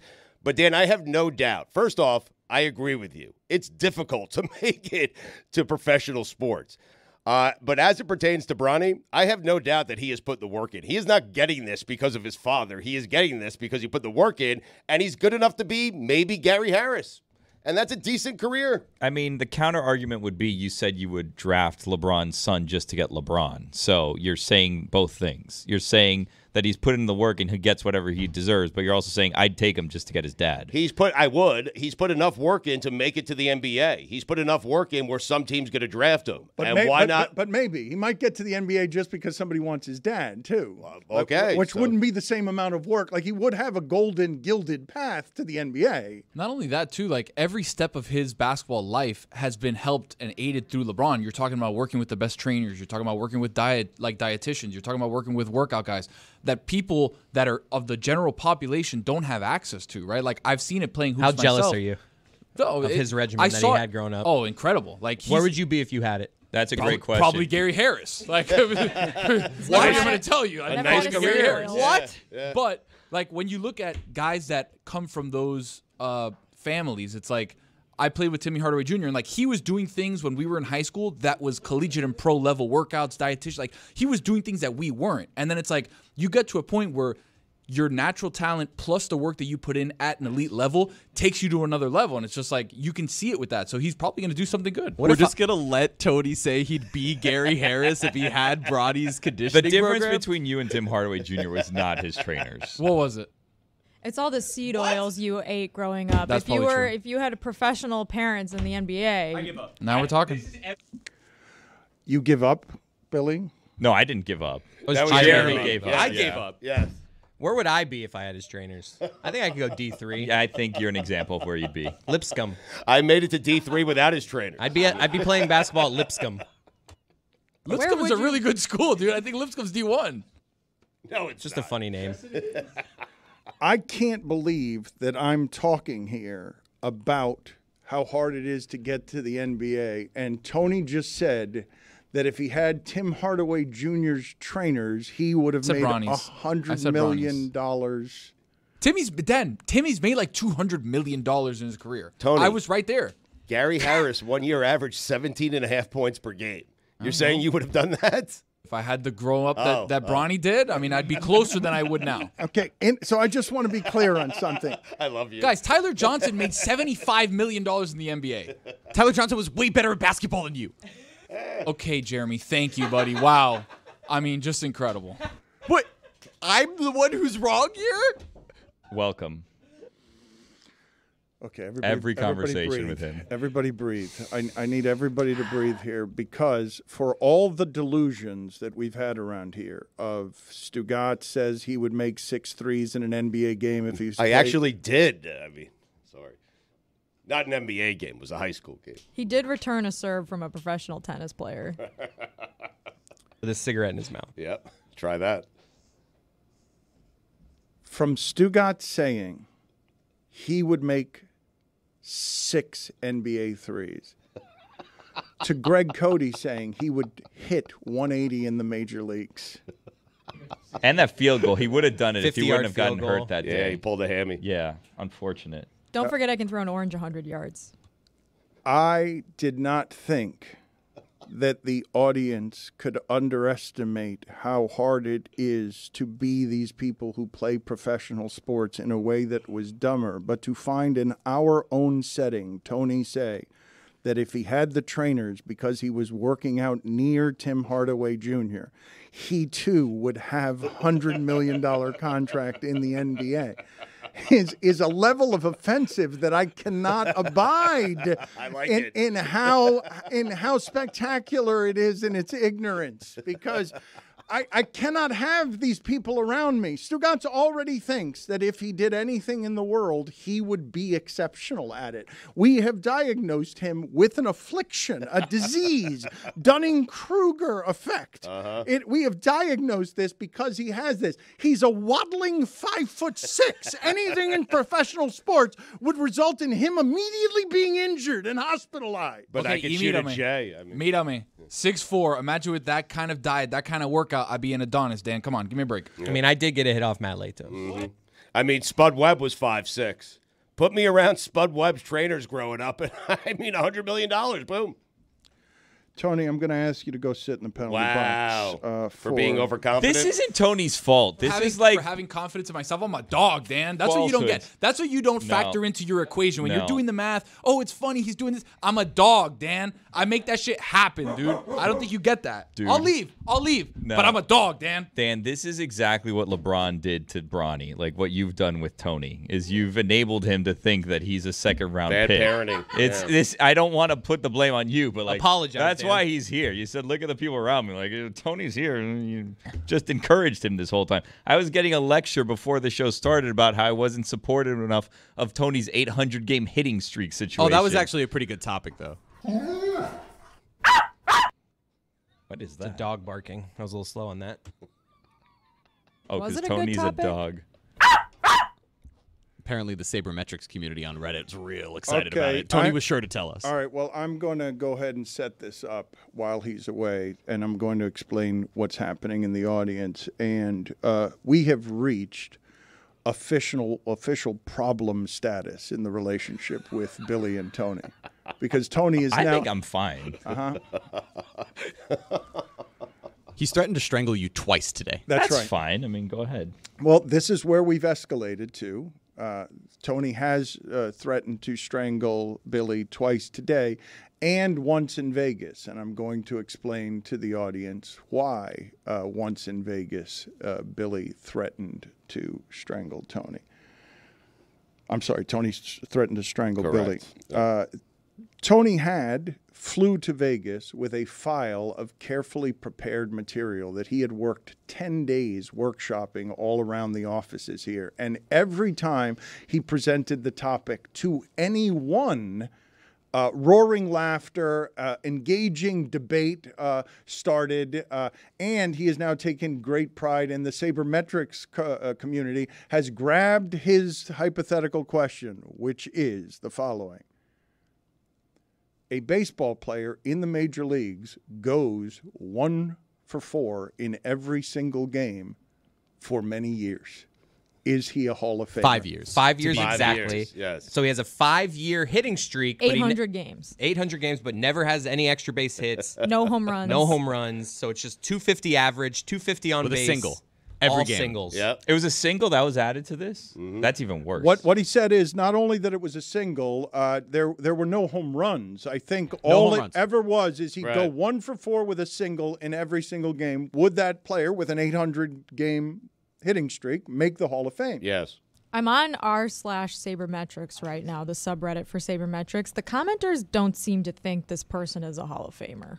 Yeah. They're right. I Well, think. he can come and he can, I guess. Oh, he's gonna he'll when be he gets he'll out be back he'll be back in a second. But let's explain to the audience how you undermined him because again, I did know I saw it. I saw it happening. Every room he left was roaring with laughter and Yeah. argument. It was he. It was the best that Tony brought to Vegas. That's absolutely right. But he did it too often. But it it was never- a comedian telling the same joke every single day in every single conversation. So when you hear for the 70th time, you're like, guy, Billy, we it was never- this already. And like, I just like to also, minutes? if if I can, I'd, I'd also like to say, you guys just got a glimpse into what every conversation with Tony is. It's I'd be Tim Hardaway Jr. if I had this trainer. And you're like, He said Gary Harris. Billy, but we never talked about it on air. So the audience was hearing it for the first time. And Billy on air, on stage in Vegas. I don't remember. You must have set it up with this is a break glass, an emergency topic. Yeah. And Billy hit a cut, a very cutting. Do you have any more glass to break, Dan? Yeah, well, I don't. Where would I- if if I may ask, where was all the support for Tony to keep the conversation going? Because there was dead air, so I had to say something. I don't think it was. I don't remember exactly. Tony, but- uh, you are now you've returned. How are you feeling in general about the support you got from Billy in this circumstance? What support, Dan? What support? Because I was in there. You sent me to the penalty box, okay, and then we bring up one of my topics. I brought that up for you. I teed you up for it. that I was not here for, and then you talked about it for three minutes, I and then didn't I came back, and then I immediately hear it.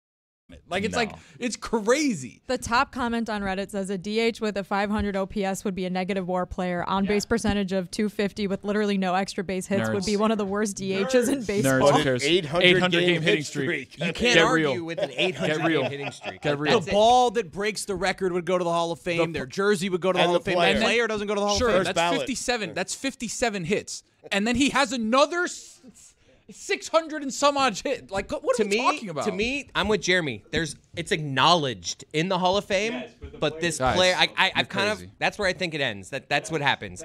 You have a whole like corner in a room where it's like craziest hitting streak you've ever imagined by a below average player. His name, I don't know what is his whatever name? his name Yeah, is doesn't matter. yeah, Pepito the fake Pérez. name. But the point is, okay, we had this great thought exercise of all these different things and ideas. It was just something to talking about ponder. Tony. Something Tell to ponder. 'em. That's why we have the file, of course.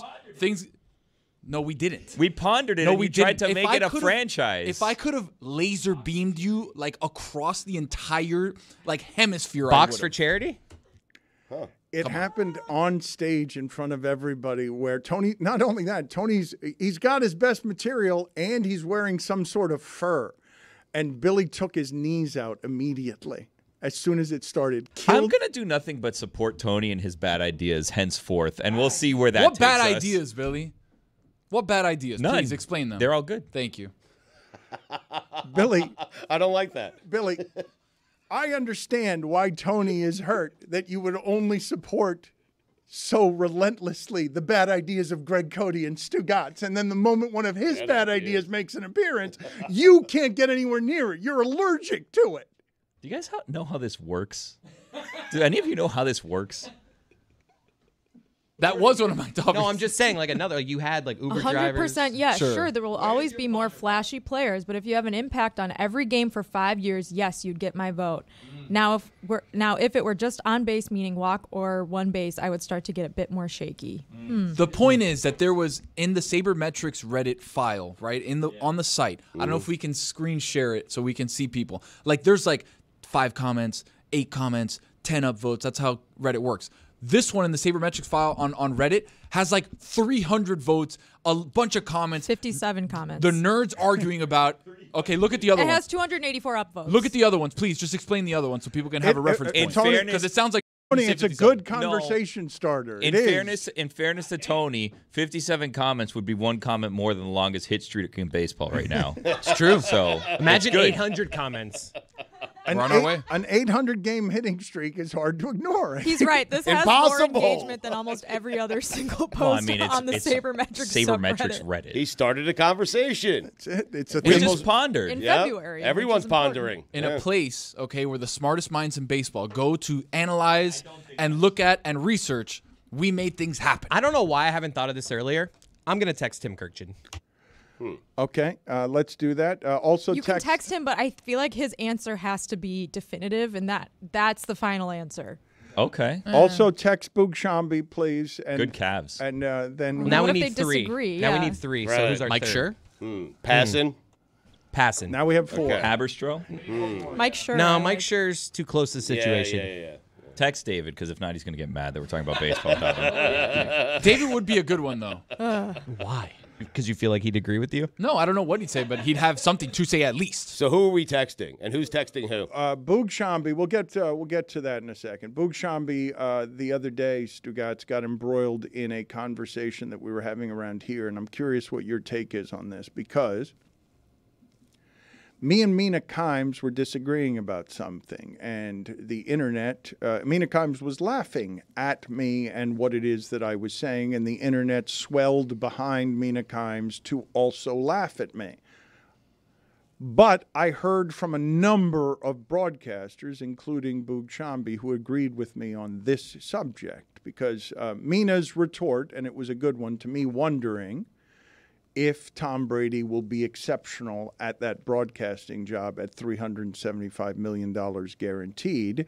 Uh, because the skill set, I believe, is difficult to explain complicated things in tight windows. I believe it's not as easy as people think it is to have chemistry with your partner, and it's why Brady has sat out a year and is practicing and is being very meticulous about how to do this. But Mina Kimes undercut the point I was making by saying, yeah, Tom Brady has a lot of difficulty in football deciding things in two and three seconds quickly when faced with complicated subject matter. And uh, everyone roared and applauded. What an idiot Dan is. Funny line. It's a good Yeah, comeback. no, and, and agreed with her, but I kept hearing from broadcasters like Boog Sciambi saying people are really underestimating how difficult it is to be good and interesting in this job in a way that stands out. You don't get to just sit there because your name is Tom Brady, but you all expect Tom Brady to be great at this in in tight windows. You're expecting him to be exceptional. I'm expecting him to be great at it because he's been great at everything he's done his entire life. But I'm with Boog on this. Like, I think it's trickier than most people either realize or they know because Tom Brady wanted to play football his entire life. He never wanted to be a broadcaster, and now he's walking in and he's filling big shoes in Greg Olsen, who became exceptional at doing things and making points in very small I'm- I'm windows. surprised so there's no guarantee Brady's going to be great at it. I think he'll be great, but I think broadcasting is really, really I'm hard. just surprised at the number of people who think the skill sets are the same. To be able to break down a defense in three seconds with your eyes and your arm, and to be able to do it with your mouth, are two different skill sets. Right. There is a difference between what Tom Brady's going to be doing and what Boog does, though. Like Tom Brady's just commenting on the plays in the game. He doesn't have to keep things moving. He's explaining to the layman what it is that he sees as someone who's an expert. But Boog wasn't defending how hard it is to be a play by play guy. Boog was surprised that the internet took up Mina's side so convincingly on a color analyst just sits there and it's easy. Right up until people start complaining about all the color analysts they complain about because those are some of the most unpopular people anywhere in sports. Just because he was good at play great at playing football doesn't mean he'll be great at this. I, think he might be, but I have no idea. It doesn't it doesn't guarantee that he's going to be great at broadcasting because he made split second decisions as a quarterback in the NFL. Mark Schlereth does this. Stink. Stink. Is Boog one of our five or no? Yeah, yeah. Right Yeah, now, right now the be. five is Kurkjian, Passan, Boog, Schur, and then between Adnan and Samson, we'll go Adnan. Okay, good. That's a good sample size, I think. Okay. I, I feel good about if we can get a definitive answer out of those five people, I trust it. And we can put this matter to rest. I have an idea as it relates to Brady in the booth. Belichick has nothing to do. Now, I'd like to have him weekly on God Bless Football. We should make a call, but we're not going to do that. I think Belichick and Brady in the same booth would be fantastic. You like that? Aren't they like not getting along great at the moment? Eh. There's some like kind of You of need some tension in the booth. That's okay. A little tension. A little They- too much like murmur. It needs to be clear. I feel like Belichick. That was little a too great much play by Mumbling. I watched him that the Belichick and Saban like documentary. I I like them both. Same. Uh, Belichick and Saban, great. That great chemistry. Make that a booth. Not Belichick and Brady? I want Belichick and Saban. Yeah, I'd watch them because they're friends. They like to get. I feel like they'd get like They'd get you- silly together. Exactly. That's it. The silliness. That's what we need out of them. Stugotz, Brady and Belichick spent 20 years at microphones never saying anything interesting. Means In they have a lot to say. On purpose, though. They chose to not Yes. say anything. Mhm. That's when they had something to gain, Dan. Now, you know, all bets are off. They're just getting silly together. Some silly willies. I would say that It'd be great. uh, the degree of difficulty on spending 20 years in front of microphones and never saying anything interesting is harder than being interesting always at a microphone. So you guys now want in a booth two people who are famously guarded, famously careful, famously uninteresting in their speech. That was Yeah. different versions. This is going to be Nicky Saban and Silly Billy Belichick. Tell me if it's Belichick and Brady in the booth together. You would watch first week, week one, Dan. You would watch the Cardinals take on the Tennessee Titans. Uh, first you week would. of any television show that's ever started nationally when George Clooney is the opening guest. And then they get into week uh, three and it's a cooking chef from around the corner. but what if it's great? Uh, I mean, mean, the, fir- the, the fir- well, I watched the first time is not an enduring standard for whether it will be good. Also, if I lit somebody on fire the first time, they would also watch. but it's a Cardinals Titans game. You wouldn't watch a Belichick and Saban Manning cast with like a, a host that they find like the Jerky Boys hosting. I don't know what you guys are doing with the razzmatazz effervescence of Brady and Belichick speaking and being entertaining at things other than being football. People who are doing the football, not talking about the football, because neither one of them has ever said anything when talking about the football that you That's remember. that. Well, hold on a second. Tom Brady was trying to study to be a stand-up comic, was he not? So like, he clearly has the personality. Do we not think so? He clearly has the personality. Yeah, he was going to be a stand-up comedian. And everyone who played for Belichick says there's a wacky side to Yeah. Bill Belichick. Don't you want to see it? Nick Saban used to drive and throw all of his players off the boats at the lake. like these nuts jokes. Bill Belichick liked the jerky boys and the prank calls. These are some wacky dudes. They just got to, you know, find the right place to do it. Give him a chance. Why don't we give them a chance? What are we doing? Well, you shook your head when Stugotz said we're trying to get Belichick every week. Well, that's because God I've endured so many lacrosse coaches with the promise of he's going to join to talk lacrosse, and never has he joined, obviously. And I'm just stuck in a lacrosse Zoom for the 60th Do you have the biggest cringe you've ever had when it comes to Stugotz's getting people on and asking them for stuff? Do you have one No, that I- stands out to you? They're all. It's all like yes, I'm like a victim of this crime multiple times. They all blend together. Tony is still fighting with the shipping container over the Gary Harris thing. Everyone's yelling at him. He's never felt more alone uh, than he does. Uh, This is today. normal. This is normal, Dan. I'm alone. This is what I usually go through. What I was explaining to Jess, because she was talking about Here he goes. like rich, rich families that have access to these trainers and dietitians and workout plans and all that stuff. That's not what I'm saying. We I'm all saying, we were saying that we all know a bunch of kids that have had money and Sure, tried to sure. have training. What I'm talking about is Hear professional athletes' kids. So when you have a dad or mom who's been a professional athlete and knows what it takes to get to a certain level, they can help you in a way that if you have a dork billionaire dad who doesn't know sports, how is he going to help you? No, like it doesn't work that way. That that's fine. All of that can Track be so. all You of- saw me very animated about Yeah. that, Dan. That's what it was. My I'll explain argument that. is that there's a lot of rich people whose kids don't make it in professional sports because, to an extent, you either have it or you don't. But Tony agrees with that. Uh, my argument Thank is you, Billy, for agreeing with Tony today. Solely that it's harder than you guys think to get to the top of being paid thousand to- to percent. play. Ask professional- Bronny. That's my point.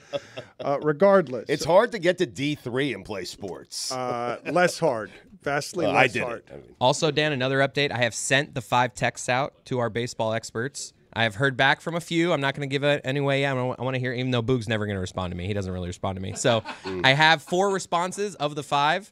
And uh, would you like we? c- No, I no, just- no. Wait.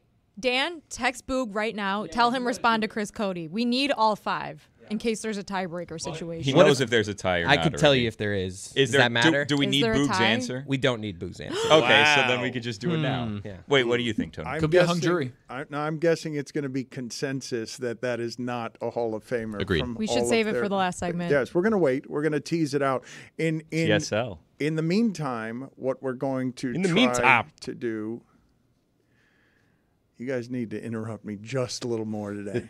Just I a can do that. little more today. Yeah, well, Stugotz is right, by the way. I got a bunch of D3 offers, so But that make shows you how difficult that Make is. sure to do it with time spent listening jokes. That's the, TSL. that's the best way to do it. Uh, Jemele Hill is joining us now because I am desperate to go viral in this costume with serious subject matter.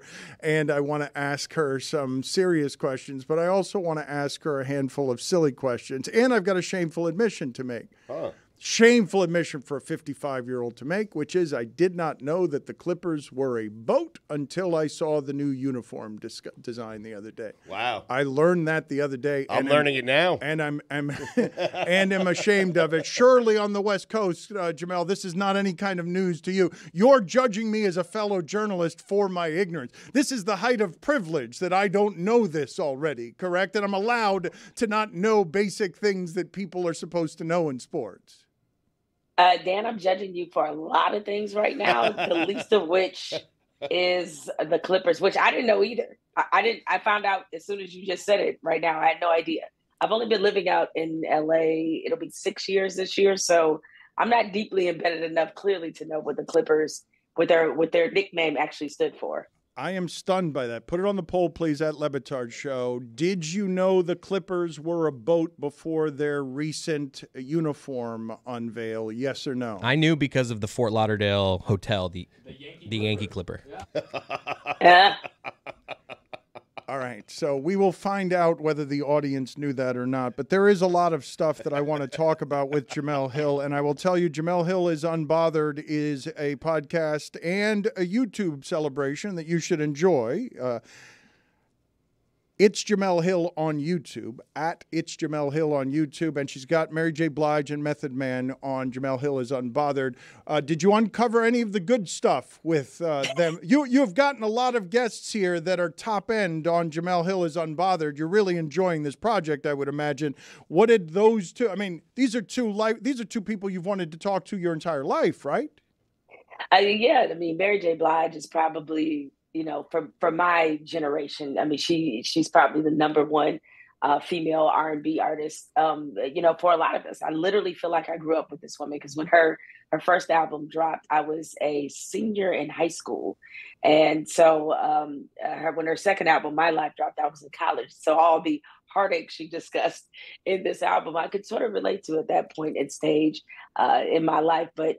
Um, the beauty of these two, uh, Mary J and, and Method Man, is that I, I was able to to sort of get linked in into the Power universe. So I actually spent many hours on set uh, with Mary J and Method Man because I had a scene with them where I was, of course, playing my favorite character, which is myself. That's always a, that's always a great character to play. They always, whenever they need a reporter, they may need me to do a cameo. Somehow that became my role in the Power universe. But that was really special for me because had you told me as a youngster growing up in Detroit that the literal poster on my wall in Mary J. Blige someday I would not only share a set with her but get a chance to interview her, I, you know, I I just never would have believed it. Power is a guilty pleasure for me. Is it uh, still strong after all of these years? The books are kind of Oh, the spit. This not the spinoffs have been great. I think. I mean, especially hers. You what? The Uh, original, the original five or six seasons of Power were excellent. Then once they started doing the spin-offs, I was just like, eh, you kind of lost me. Yeah. Well, I need I Ghost. thought you need. See, I at first I felt that w- I felt that way, and then with Raising Kanan, which I think is like really well done. Uh, that one, Power Force, um, featuring you know the uh, Joseph Sikora who plays uh, Tommy, and even this one, you know, it goes to like I, I think they've done a, as good a, of a job as you could building an entire universe without sort of the main character that created all of this. So I I, I love it. But Dan, I, I got an even deeper guilty pleasure, and um, I, I got a chance to record something about it for yesterday. So I'm all in on Tubi Hive. Like Tubi has me. I'm fighting for my life with this fast channel. I don't know how it came to be, but it has such eloquent cinema on there that is all rooted. A lot of it is rooted in Detroit, and a lot of it is is, is real hood. I'm not I'm not gonna hold you up. It's very it's very very hood, and it has me right now. It has a it has a lock on me, Dan. I need to I need to get out of this Tubi hive because before I look up and know it, I watch like seven or eight Tubi movies, and I don't know what happened to all of my day because I'm so invested in this network now. It is getting harder and harder to not get addicted to some of these uh, candy sugar things that end up with you getting lost in some of these places. Uh, Billy was arguing earlier. He was saying also because we can't figure out what's real or not real on the internet. He's saying this is the single best time in the history of America to be a skeptic. Uh, that- uh, but- He's not wrong. I uh, mean, yeah, put it on the poll, please. Is this the best time in the history of America to be a skeptic? But I wanted to talk to you about something serious here, uh, Jemele, because these things happen pretty slowly to the tearing down. Uh, when we find out that people that we loved once upon a time, uh, R. Kelly, uh, Bill Cosby, Harvey Weinstein, these things don't happen quickly. And it would appear that Diddy right now is in the middle of this happening. Uh, and it, it, it feels like he's about to uh, have a whole lot of people come forward with the freedom to not be afraid of his money and his power. So, what do you think is happening here and is going to happen with Diddy? Well, I think once the floodgates were sort of open with his um, ex Cassie uh, coming out with the allegations that she did, which were very serious, very, um, you know, they were damning. Uh, you know, to to be totally honest, I think as we see the, the the pattern with all of these cases, it takes one person.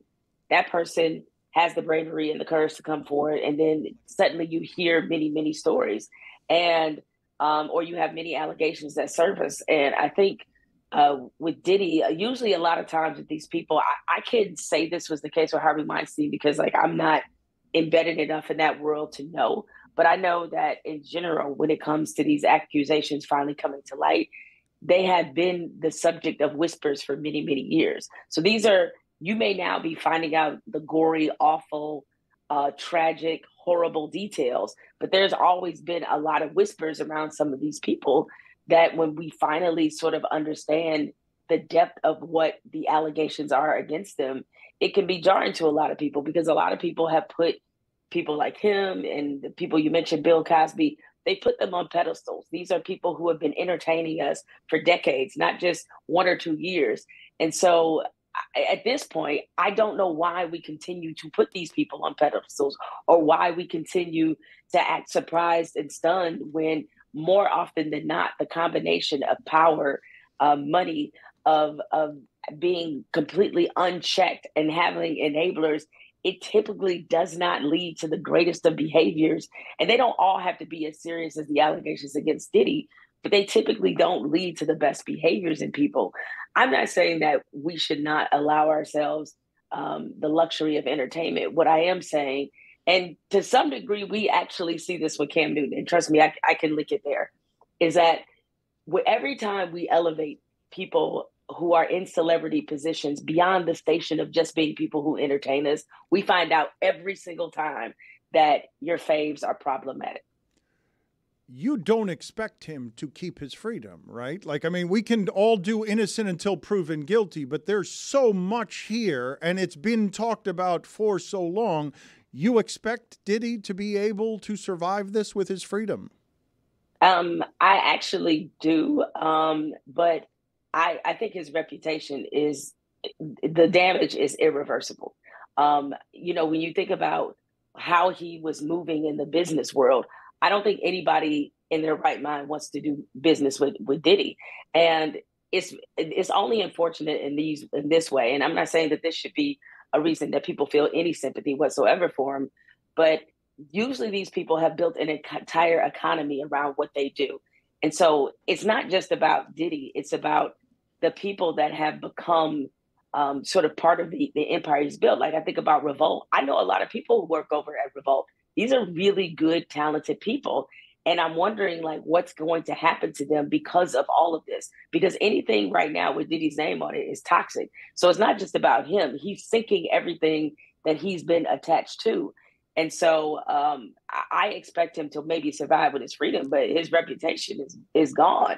And if he had any higher aspirations in business, I just don't see how that's even remotely possible now. As a veteran of journalism who's not often surprised by things, and for those who do not know, what are the worst of the details when you're reading through this and you're like, oh my God, I, I, this surprises even me, even though I've seen just about everything here? Well, so I think people are sort of having the wrong conversation. Is that they have made this about Diddy's sexuality, whatever that may be. It is not about Diddy's sexuality. It's about whether or not he abused his power, whether or not he committed a crime, and whether or not he was assaulting and and and has this awful track record of abusing young women. That's what this is about. That's where our outrage and shock should be directed toward is that not toward who it was who it was doesn't matter the method and how he operated is what matters and so i think um, the violence of it um, because you know while there uh, you know there's been certain incidents that diddy has been alleged to have done or whatever i don't think that people necessarily looked at him as having this violent persona and so hearing about some of these details that part of it. And I, I just think the depravity of, of all of it. Um, to want, if there is, if there's any possibility um, that he could have really hurt some people, you know, not just emotionally, but physically, I mean, that all of that is just very sickening, um, you know, to me. And unfortunately, as a result, then you see why we need to have more conversations around educating people about sexual assault so that sort of the, the the ignorance factor of all of this and how we're processing it that part i'm always disappointed in you mentioned Cam Newton, linking it to Cam Newton. What were your takeaways that were most interesting on the Cam Newton fight? Okay, so Cam Newton, one, uh, we reached the point in the plot there that uh, after somebody put their paws on us, suddenly we're on a podcast talking about it. I just know if somebody that had drug me that was six feet six tall, uh, me and um, you know, some of my friends or whatever. I don't know if I'd be doing a media tour to talk about how that happened to me. There's a lot of disappointing things. And one of the things that come out about this in the aftermath of this conversation is how black people talk about other black people when these situation arises. This is when your neighborhood friendly race lady shows up. Is hold on a second. There, hold on just a second it's time for your friendly neighborhood race lady. You're good. All right, now because I, I can't have the racial take unless I have the music. Correct. So there is, uh, you see, when black people, when others who are not black try to make black people into a monolithic people, meaning that if one of us does something, it somehow reflects on the entire race we lose it. We understandably lose it because that doesn't that very rarely happens to to other races to some to some degree. It does it does happen a little bit, but I feel like with a degree when it comes to black people, it's it's far deeper. And yet I have heard over and over on social media people saying black people saying the same thing that we get outraged about that white people say about our community. So suddenly, this is not just a combination of ego and um, uh, and bravado gone wrong and tempers flaring and trash talk and all that, just a singular incident. Suddenly, this is the reason why black people can't have nothing. And I just reject that so much on on all levels. Is that you know Cam shouldn't come back in the community. That's why he shouldn't deal with us, and that's why black people can't do this. Whoa, whoa, whoa, whoa, whoa, whoa, whoa, whoa. This is about some immaturity that took place on both sides. I might mention because you know people are are sort of focused so much on Cam winning the fight, and I'm not blaming him for this incident because it looked like again there was blame on both sides to be had. Mostly, I'm just like you guys are in the presence of kids, and I thought the point of the exercise with this tournament was to expose them to somebody who has been as professionally successful as Cam, who can help them understand what it takes to get to the next level. And, and as coaches in the position of leading young men, you got to know better than to do this. And so there's that part of the conversation. But I really hate how this has become the lecturing of black people, mostly by other black people who are saying that we have embarrassed our entire race by this one incident. And I hate that we more than anybody else subscribe to that same thinking. It's just that automatic reflexive recoil that we have when something bad happens nationally and we find out that the person who did it was black. And suddenly we all feel this sort of secondhand embarrassment that somebody got out there and acted a fool. And I started I started uh, to leave that thinking away a long time ago. And so I because then you make it seem like the behavior is pathological and not just the actions of these individuals because that's how I took it. They reflect me no more than uh you know if uh, some celebrity that's black wins an award and so we can't play that game. And so it's disappointing to find a lot of us sort of trafficking in those same stereotypes that we get outraged by when other people say it. Walk me through two parts of this culturally because Shannon Sharpe is blowing up now in the business, and he's one of the people who said that this is wildly disrespectful and it would never happen at Peyton Manning's camp or Tom Brady's camp. But you're talking about how people talk about the incident afterward. How about beforehand when I ask you about Rucker Park or and one and the idea of talking trash uh, before you arrive at Cam Newton's camp because you think you can do something against Cam Newton and, and where words can escalate into what it is that we saw because you're disrespecting Cam Newton and he's only going to abide so much disrespect at his camp. Well, exactly, but at least the way they told it, and I don't know, you know, at this point, it's a it's a it's a game of who do you believe, but the trash talking seemed to be mutual on both sides. Now, like trash talking is not a gateway to always leading to something violent happening. But again, when you put that type of trash talk, and I think uh, somebody, because in general, um, there is a delusional quality in a lot of men who think that they are that physically that they can, um, you know, uh, that that they can they can be sized up against a professional athlete. There's just a bravado and being about that anyway. And so then you get the extra bravado. Yeah, because y'all eh, look, if there's one thing a man will find, it's definitely delusion when it comes to how they stack up against professional athletes. You hear it all. I mean, you see it all. All the time, every day. Media. Yeah, yeah. like, eh, when you're si- when you're do. the same size, a different story though. I'm just saying, it's only men that are having these conversations about whether or not they can they can fight a bear. It's like, wh- why do y'all believe this? I don't. I don't if you had the right trainers, though, Jemele, right. see what I'm saying? you could do it. You're you're so delusional. Like the number, I think it was that survey that came out not too long ago about the number of men who think they could land a plane, a uh, land a plane safely, having never flown. Jemele, here's the thing. Here's what you don't know. When you Tony fly, has literally when said you that. fly to Bimini, Jemele, the the pilots are right in front of you because it's a small plane, right? So there's no cockpit, there's no covering. So if that if that pilot goes down, guess who the co-pilot is? You look around and you don't find him, it's you. That doesn't mean you're landing the He's plane. Right. Yeah, Tony's got a good point. Oh, I would land that son of a bitch. Once again, the delusion of men. I, I, look, just give me the confidence of the average man when it comes to whether or not that they think that they could measure up to a professional athlete. So you have all of this hubris, this ego. You know, it's been a part of like the, as you mentioned, the Rucker Park tradition in general. There is something to be said for like, hey, people wanting to see if they belong on the same field or be in the same company as some of these athletes. And this is just a situation that got out of hand, no more, no less. And as far as what Shannon said, that's what I mean.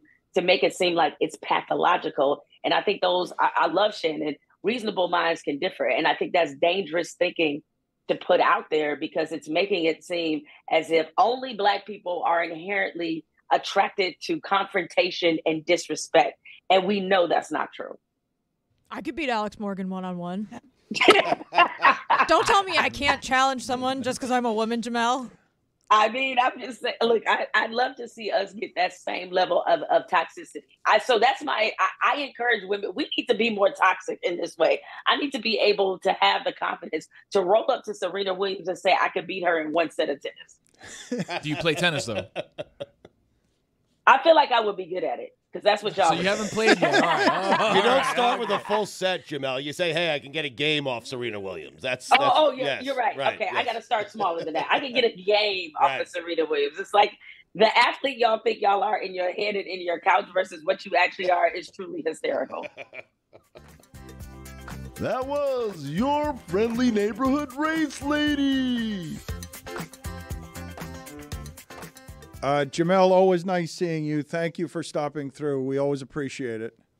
Yeah, I can't believe I did this whole thing and I didn't ask you why you're dressed in in sort of like a masked adult diaper, but that's okay. I uh, I I just, I just- just like it. I run my own company now, and I can I can adhere to all of my personal It's a kinks. kink. Yeah, personal Okay. kinks. Thank you. Oh, okay. I love it. No Make- judgment. I- Okay. I- thank you. Thank you. I appreciate it. I make my own rules in my own workplace. Uh, I wanted to uh, thank you, Jemele. Appreciate it. I wanted to get to something here, Stugotz, because I've been talking for a while, many years and many successive weeks, about Jon Stewart and what I hope for Jon Stewart in his return uh, to The Daily Show. And so far, in the first three episodes, it's exceeded all expectations in a time where it's impossible to get ratings and it's better than ever to be a skeptic. I don't believe any of the ratings, but everyone seems to be saying that not only is uh, The Daily Show doing better numbers than it has done since Jon Stewart left, but also all of the other hosts are getting a ratings bump from the fact that Jon Stewart has merely done three episodes so far, and he's touched a lot of people with politics. But I'm going to play some sound for you in the next segment of him really moving Stugotz. The dog lover constituency, I think Michael Vick wildly underestimated the damage that can be done by outraged dog owners. And Jon Stewart has uh, connected with a human moment of breaking down on air because he did the show the other day, a show I will repeat and continue to tell people. Uh, takes 60, 70, 80 hours of bandwidth a week from Jon Stewart to get up there on Mondays and do what he's trying to do during an election year, which is stay relevant in political comedy, not age out of political comedy because it's a totally different time than the one he dominated. Jon Stewart, what he's doing on Mondays is important, and three episodes in, is also working because he's he's drawing millions of people at a time that nobody draws millions of people to a single you know to a single time. We all have our own menus. Why are you shaking your head, uh, Chris Cote? This room just exploded with debate on. Skeptical Billy came out on how how many hours he's really putting into this. It's not 80 hours a week for a 24 minute episode. Come on, what are we Simply doing? That's impossible. crazy. 80 to 90. writers, I maybe. mean, could be 90. What do you think? Uh, how hard? do you- 24 minutes, not 80 hours a week. Not not Finger happening. guns in. What are we talking about today, boys? All right, let's do it. Yeah. We agreed on like 30 back here. Yeah, you guys have no earthly idea how difficult it is to do these things well at the Do it level. five Yeah, we days do. a We week. produce it. That John Oliver and Jon Stewart do it. Like you I just wish sit- I was in the entertainment business. you- Yeah, it'd be really hard. I wonder how it how it works to produce a show. What do producers even do? a good one. A good one That's the is the difference. part you guys are missing. I used to.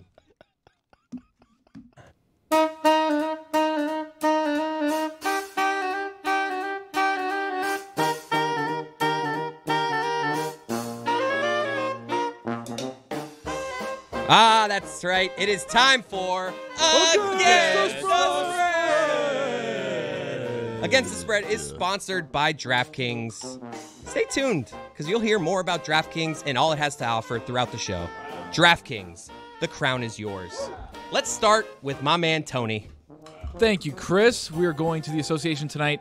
Battle for LA, Dano. Lakers versus the Clippers. Clippers at home on this one. The boats. Yeah. The Yankee Clippers. Uh, minus three and a half for the Clippers. I'm going to take the Clippers to cover against the spread. Against the spread. Against the spread. Jer Bear.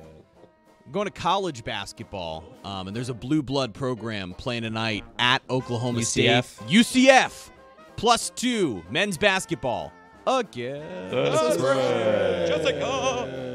Letdown game for the Cavs tonight against my Chicago Bulls. Bulls plus five against the spread. Billy's Cavs. Over to you, Billy. All right, I'm headed back to college basketball where Army West Point is a plus four against American. I'm going to take Army West Point plus four. TYFYS. Against the spread. Against the spread. Over to the gods. I'm going back to the association. Ooh. How about that? No one believes in the Cavaliers. I believe in the Cavaliers. I'm going head to head with you, Jazz. I am taking Donovan Mitchell and the Cavs minus five at Chicago. Oh, against the spread. Bring us home, Dano. I will take the Timberwolves minus 12 and a half at home against the Against the spread. Against the spread. Against who? Against the Memphis It's actually Grizzlies. minus 12, actually. You know? About to have point. against the Grizzlies. I made it even more difficult Against the than I spread. needed to. That's how little I believe in the Memphis Grizzlies. Um, I want to play this sound, even though it's sad sound, and uh, already I'm leaving. Jessica has alerted me that she's I love leaving sad the dog stories. You do? Yep. No one does. Who loves The room dog wanted to stories? leave. I'm so when zagging. Dan was talking about driving with his dead dog in his lap, you enjoyed that. You know this role in this chair is give the show what it needs. I'm into this story. Can't wait for it. Team player Chris. So what I was saying earlier, Jon Stewart is trying to cross the political divide, and that one's going to be really hard because we're super divided. He is very good at self-deprecating humor, but I think, Stugotz, this connects. Maybe it just connects with human beings who are pet owners of any kind. Maybe Owners. it- it's something something that is mocked by people who don't care about animals. I don't believe we've done a lot more offensive around here recently than the way you guys broke the news of that owl dying yesterday to Ron Magill and then gracelessly handled the aftermath of that afterward. Flacco. What Uh, owl? yeah, you guys were mean, It's an owl? cruel. Uh, but let's listen to this sound of Jon Stewart connecting in a place where pet owners are going to understand. uh, they brought out this one-ish year old brindle pit bull uh, who uh, hit, hit, hit by a car in Brooklyn and lost his right leg. I thought I'd get further. Um, so it was a perfect idea. They put the dog in my lap, and uh, we left that day feeling really good that we'd helped this great organization. And we also left with this this one-ish year old pit bull. We called him Dipper, and uh, in a world of good boys, he was the best. Um, he used to come to the Daily Show every day. He was part of the OG Daily Show dog crew. Parker, Quali, Dipper, Riot, they were, they were the OGs in the office. Um, and they were, Dipper would wait, and we'd come and tape the show, and Dipper would wait for me uh, to be done. And uh, he met actors and authors and presidents and kings, and he did, he did what the Taliban could not do, which is put a scare into Malala Yousafzai. Oh, dear little dog. Sorry, Mama. It's fine.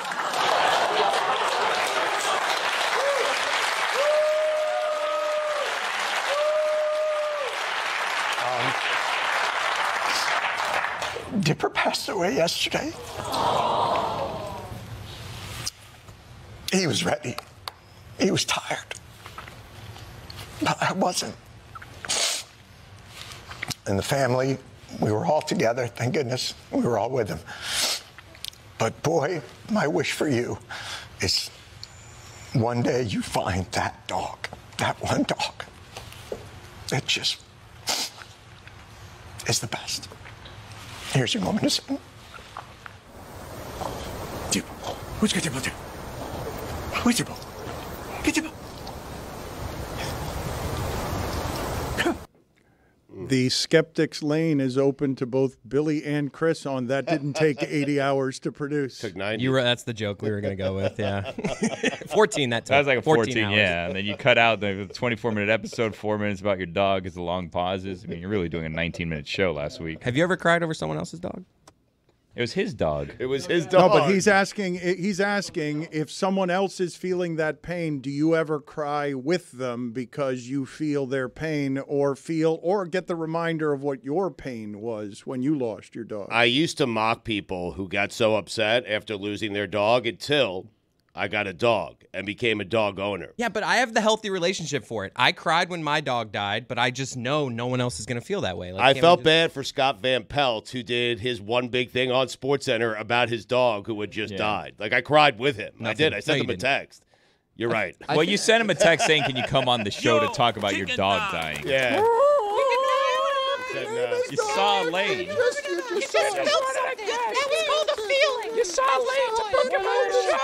Come on and talk about your dog. You took advantage of the dog's death. You saw an angle to get something you wanted. Your grief was parlayed into fraudulent stuff that you just wanted to achieve for yourself, as always. Surprisingly, it worked. Very talkative chicken over there. It always works. I got lost on whose dog it was. Yeah, I was like gonna in the beginning, it was like a dog, but then uh, was it somebody else's dog? And I didn't. I didn't. What?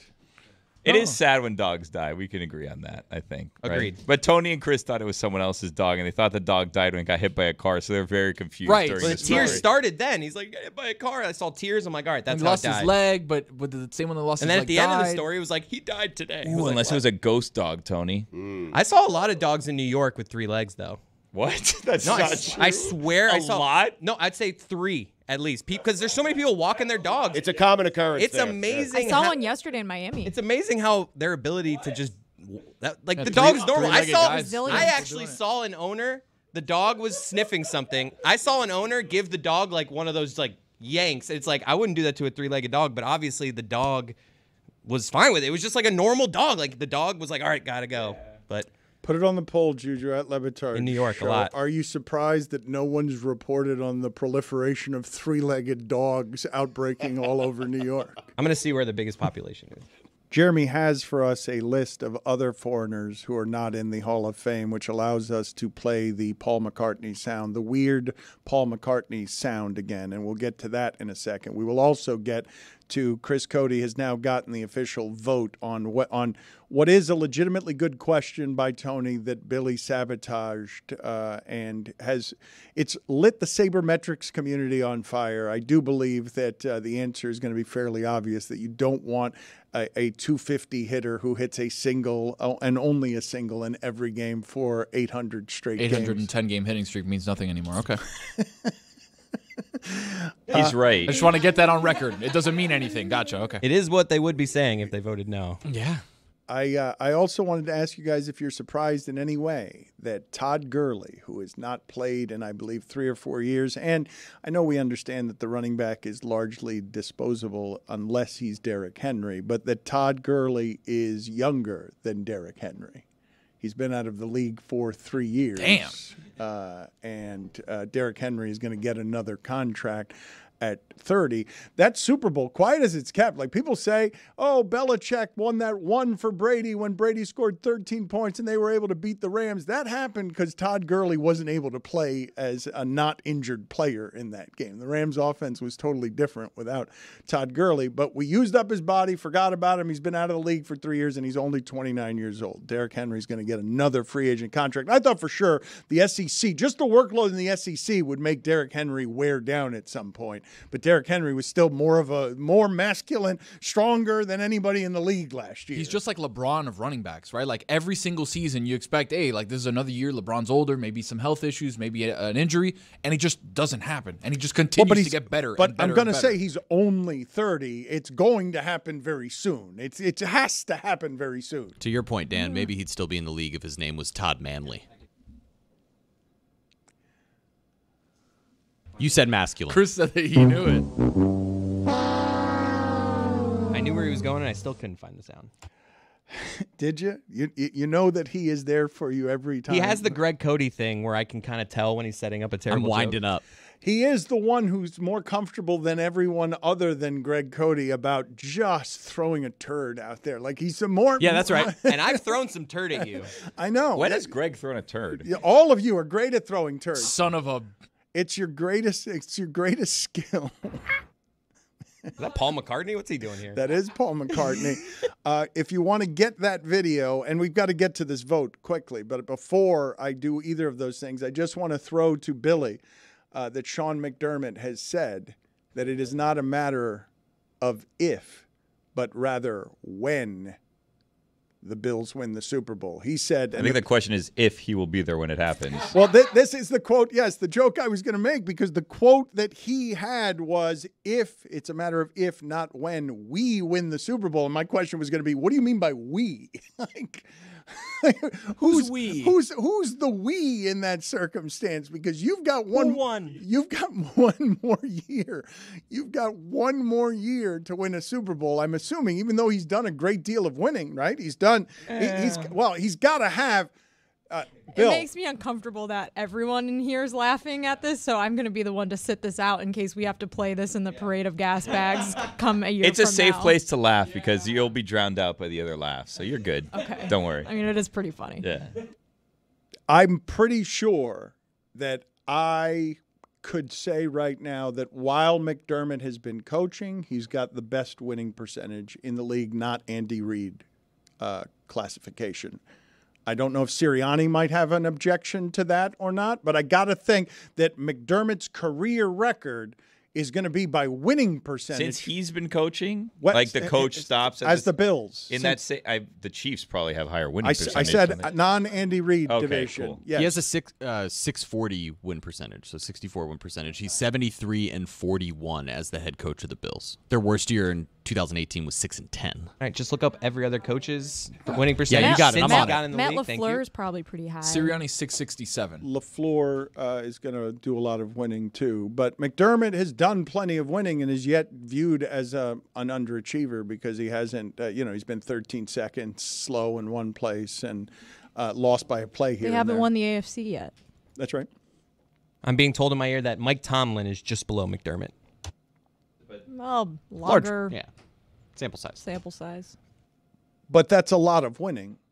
And we don't think of him as a winner. The Bills. It's not uh, enough winning. It's the wrong winning. You got to win in the right places. Exactly. Do it in the playoffs. Do it against the Dan. Chiefs. Exactly. That's where we Exactly. feel like the problem is. Like they're really good and then they win and they play the Chiefs and they lose. Stop letting Joshy down. Don't do that little fake punt thing again. Mm-hmm. Enough with Demar. Chris Cote, what? Just a series of Buffalo objections. Uh, Chris, uh, give me the vote finally on what it is that the, all of the people that you texted say of a uh, 800 plus game hitting streak that involves a hitter going one for four in every single game. Is that hitter with an 800 plus game wi- uh, hitting streak a Hall of Fame? Wait, hold on. In Tony's defense, though, like how it was phrased is probably very important. So how did you phrase it to them? I phrased it to uh, same exact question to every person. A DH goes one for four for five straight seasons and then retires. Zero career extra base hits, 250 career batting average, 810 game hitting streak. Is this player a Hall of Famer? That's- Question. You didn't ask this to the people you texted, but is this person walking away from an 810 Yeah, game walks away hit from the game. Wow. Yes. Follow up with that and see if Walks it away from the game. I think Yeah. they got that because Oh. it's an And he said 810. retired, but- 810 is every game that they yeah, would play. but Okay, fair. retiring and walking away are two different things. I'm not going to Why follow walk up. away with dignity? He hung up the clip. I think they got versus the laid gist off. of it. Yeah, I think- different things. I don't know if their answers are going to change. Let's go one by one. First person, Jeff Passan, responds no. Oh. He said, as impressive as an 810 game hitting streak is, a 500 OPS is awful. You can't reward someone for being consistently bad. Consistently bad. He's the Wow. opposite. He's consistently getting a hit. He's Mm-hmm. consistently okay, is your point. Next response, Adnan Virk. Your guy Taylor asked me this when you were at Super Bowl week. You could have left that out. Is that a yes or a no? And then I was like, and that's all he wrote. And I was like, so what's your answer? Afraid of being wrong. Okay. Adnan Virk. yes. Oh. Nothing else but that. My though. guy. I don't have his reasons, but he voted yes. So we are one and one. I think the reason would be the 810 game hit streak. That's true. That's the only reason. that would be the What el- only argument. What else do we have here? I'm I'm riveted. One and one, Dan. All right. Mike Schur. One word response. No. And what does he know? And then he wrote it's not a and then his next text. Well, that that text was one word and then he responded. Would be exciting every time he started a game 0 for 3 though. Oh, that's Accurate. true. the intrigue, Dan. The intrigue. He would change Pepito ratings Perez is up the bat. What is he gonna do? He's gonna get it. They'd be breaking into coverage. The ratings with his boom. fourth at SEC football. Oh my God, you'd be so mad. hate at this player I would hate this guy. Yeah. I'm gonna kill him. All right. So we have Tim Kurkjian and Boog Sciambi. Too Who, whose results should I read next? It is too far. Is there any? You threatened to kill Tony four times today. Every college football game for like five guy. years would get interrupted. Oh, he's the worst. My assumption Get him is out of the league. by you asking who you should read next, they both said no. Because if it was yes, then you'd read the yes, and then you'd. Do have you want Boog Let's Boogs find or out. Tim Kurkjian? Well, he already no, told yeah. us it's not a tie, so we already know what the next. Well, Boog didn't to respond to me. Still? So give us Boog. I kind of gave away the goods. Tim Kurkjian. I one word response. No. We lose three to one. No follow up. No wins. nothing? The only yes voter, Adnan. And how credible is he? Can you give me an update, uh, Jeremy, please, on foreigners who are no longer in the Hall of Fame or not in the Hall of Fame, and give me an update on uh, factually what I was saying about McDermott's winning percentage? Well, first on the winning percentage, um, Sean McDermott, 73 and 41 since 2017 when he entered the league. The only teams that are better are the New Orleans Saints, Baltimore Ravens, and Kansas City Chiefs. Obviously, the Saints, Sean Payton, no longer their head coach. So if you're looking for winning percentages in the league amongst coaches, you got Andy Reid. John Harbaugh is the only one you missed. As for foreigners, Bobby Abreu. Not in the Hall of Fame. Should be in the Hall of Fame. Foreigner, not in the Hall of Fame. Rafael Palmeiro. Not in the Hall of Fame. Miguel Tejada. Not in the Hall of Fame. Luis Tiant. Not in the Hall of Fame. Johan Santana. And Andruw Jones. Chris Cody, what is your problem? You're a beer guy, and your father is a beer guy. You descend from a strong lineage of being beer people. What is your objection to wine people? Well, I have an objection because I, I take offense to what you actually just said. Because I, yes, I love a, a cold one, a Miller Lite, like as much as the next one. But I am not one of these. I'm I'm more going after the enthusiasts. There's beer enthusiasts. These people. They, I'm not. You're a beer guy, I- dude. You don't know it, but you're a beer guy. I know guy. I probably look like one, Yeah, but you're a I, beer I don't like IPAs. Like they fill me up. Like, Just I- accept you're a beer Okay, guy. I mean, I'll, if I had to be now, if I'm one of these, I'm a liquor guy. I like a good whiskey. Oh yeah. So I would say beer, liquor, and wine. There are people out here, and I want to dissect who's the worst of this group because I experienced wine people for the first time. Wine people are the worst. They they're, they're Billy, just boring. Billy, Billy, why are you whispering Jesus on something that only you, Jessica, and Jeremy are laughing about? No, that she said it out loud. No one everybody got the joke. I didn't I hear hardly her. know her. Liquor guy. Oh, Because I said I'm a liquor guy and yeah. Liquor, and she said, hell yeah. I don't know. I'm Back in row a silly Jess. mood. No, but I really want to dissect. Like Saban and Belichick would be if they did a, a little game Silly together. Billy, yeah, we mentioned. I literally Billy. want everyone here because like you have to have an opinion on this. Who's the worst of this crew? And let me let me make my pitch for why wine people are. It's just boring, man. Like I was at a wine thing at South Beach Food and Wine, and this guy Dan Costa, spitting fire, looked like a good hang. He hated it because I, I don't know that he didn't say it. Just a boring. Just what's the topography of this dist- winer? And it was just like the most But boring. the topography is really important because where the grapes grow, if there's an altitude that's a little bit higher, there's some that's a little bit lower, they get grown in the valley. Like it's a different taste. The I tannins are told different, I've everything's told you guys this story before. The one class I took in college with the hopes of actually just having it be easy and learning so that I could order the correct wine with a fish and not be an idiot. Was, White wine. was a wine tasting class and I walk in and the first class the instructor reached reaches into the jacket of his coat and pulls out a a grape, a, a, cluster of grapes, and says, "By the end of this semester, you'll be able to tell me, based on looking on this, what kind of soil this uh, this was." Uh, you know, Please tell me, you volcanic dropped soil. Please tell me you dropped the I, class. I struggled. I did not drop. I, I got like a C plus or something and had to fight my way through the class because it was super hard and never got good at ordering wine either.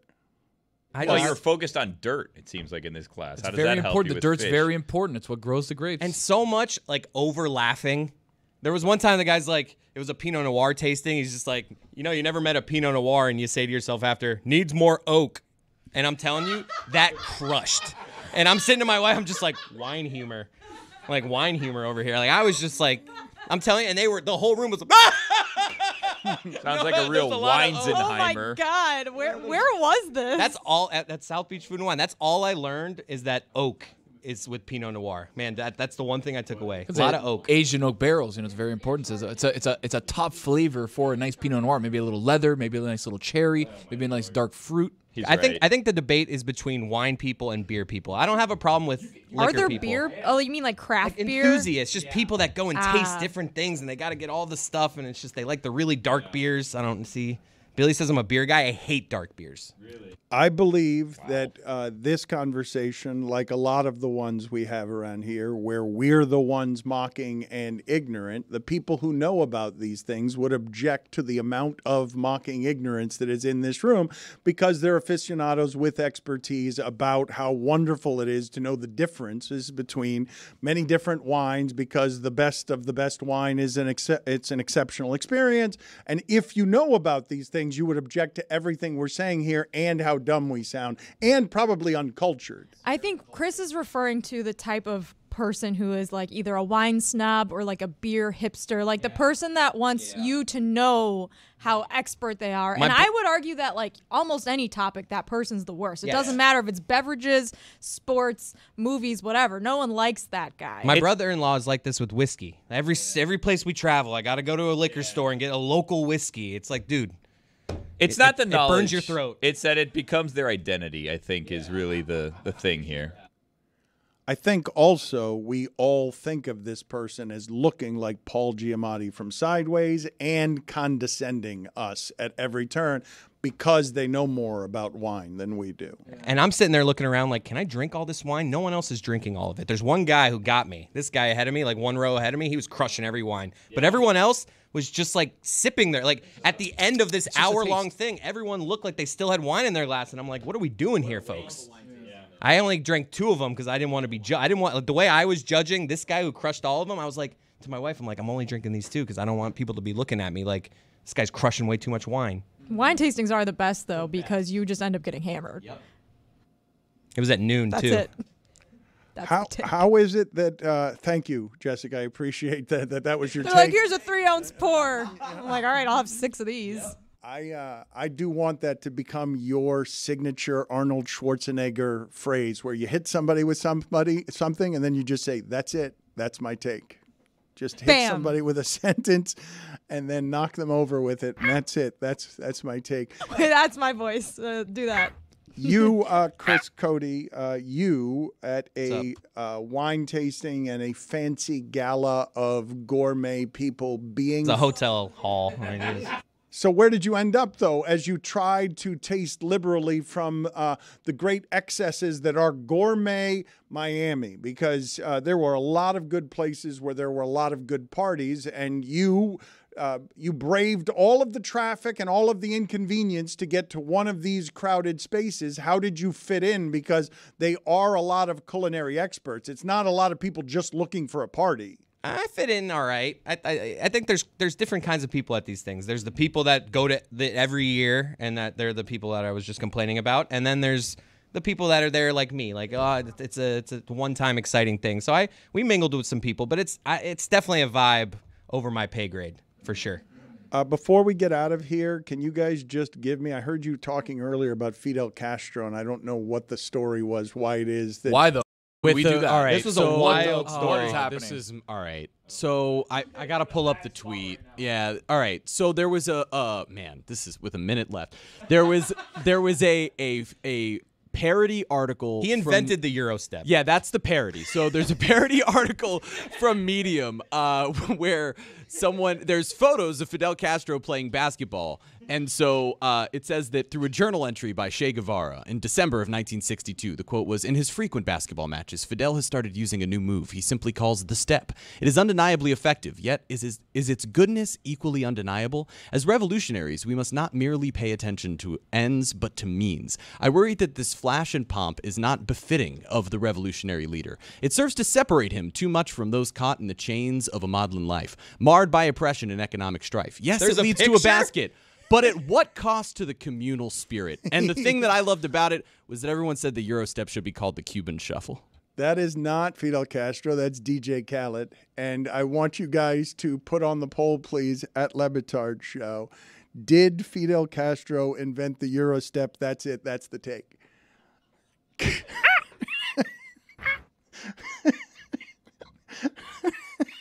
That's a good limited fake Paul McCartney. So Heat Wentz has arrived, guys. Heat Wentz. Go on. Uh, Jimmy Butler is the star of the new Fall Out Boy music video. So after the emo Jimmy thing that he did at Media Day back in October, I guess Fall Out Boy much must have reached out because Heat Wentz was one of the several nicknames that came for that after his emo haircut. Uh, and now they tweeted it out themselves.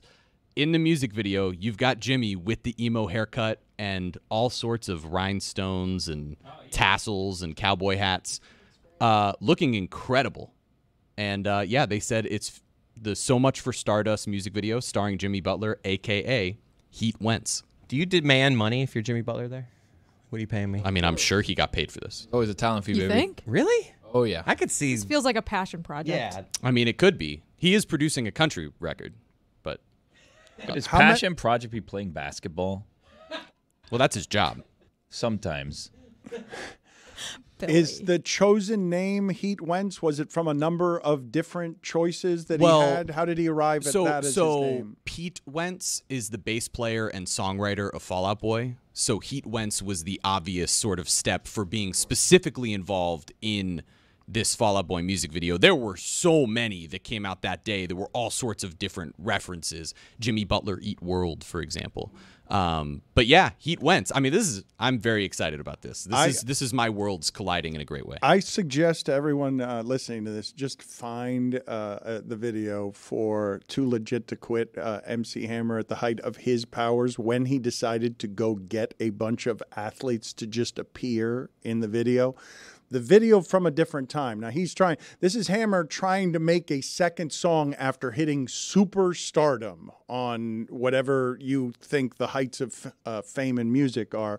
This video is so over the top dreadful and so over the top 90s and has so many Kirby Puckett and Chris Mullins and Jerry Rice and Deion Sanders and Andre Rison and everyone else. How is, oh, thank you. Uh, video has already found this video. Just play it here on the screen in front of people so people can see how much money went into this uh, truly terrible 90s video. But what can you tell me, Jeremy, about Fall Out Boy's video? How good is the actual video? How many cameos does it have? I have yet to see uh, the full video. breaking this is news right breaking now. as we're recording this. This is just so they're came just out a few they're minutes just ago. teasing the idea that this will be shortly something you can see. Yeah, I mean, I think it's out now on YouTube. Um, but what they posted to Twitter, which was the clip that I saw, was 25 seconds of Jimmy just dancing around in this studded cowboy outfit with the emo hair, which is interesting because why he also is in the cowboy. I'm, I'm intrigued to see sort of the plot line here that goes with uh, this music are video. you? I Are really you? am. You think there's going to You be a tapestry woven in this would. music video? Yeah, I do think so. Look, this is Fall Out Fall Out Boy. Boy. man. If you don't know the lore of Fall Out Boy and the way that they do their music videos, I mean, Fall Out Boy had one of the most important music video moments of my young childhood when Oh, Pete can't wait to Wentz uh, did the thing where he like strummed the guitar and then he licked his fingers and Yep. did like a salute. Yeah. they still do that at concerts. Fall Out Boy performed at the All Star game for the Panthers last season, Mm-hmm. and up until it, they were about to start, I thought they were Sum 41. Wow.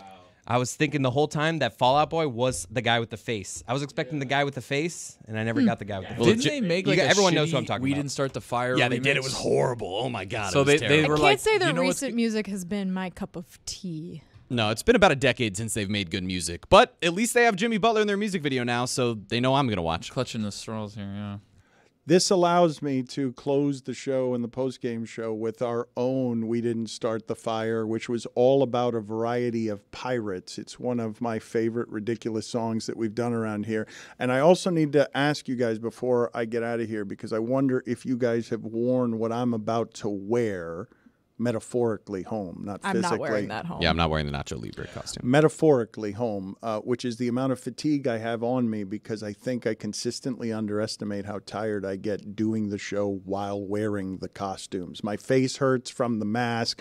Uh, my nipples are like icy frozen shards of uh, it's too cold in here.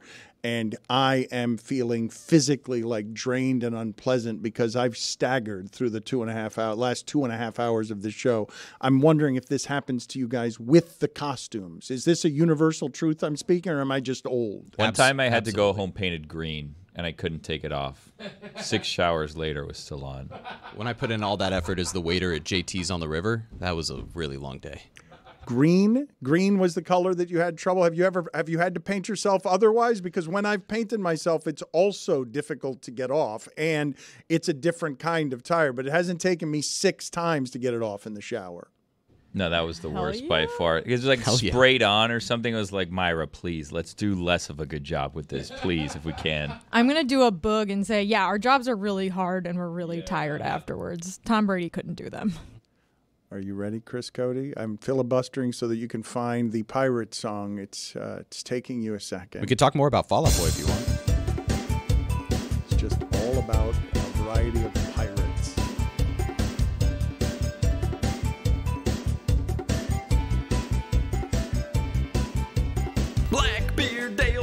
John McKay, Bill Day, Walk the Plank, Eye Patch, Vince DiMaggio, Bill Madlock, Jim Fregosi, Connie Mack, Willie Stargell, Lee Mazzilli, Lloyd McClendon, Sixto Lezcano.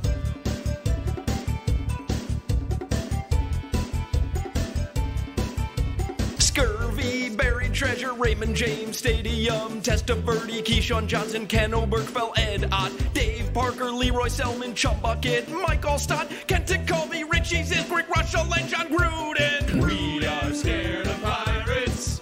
They are always scary and they're never caring. We are scared of pirates, and we will not fight them, but we will start crying. Okay, bye.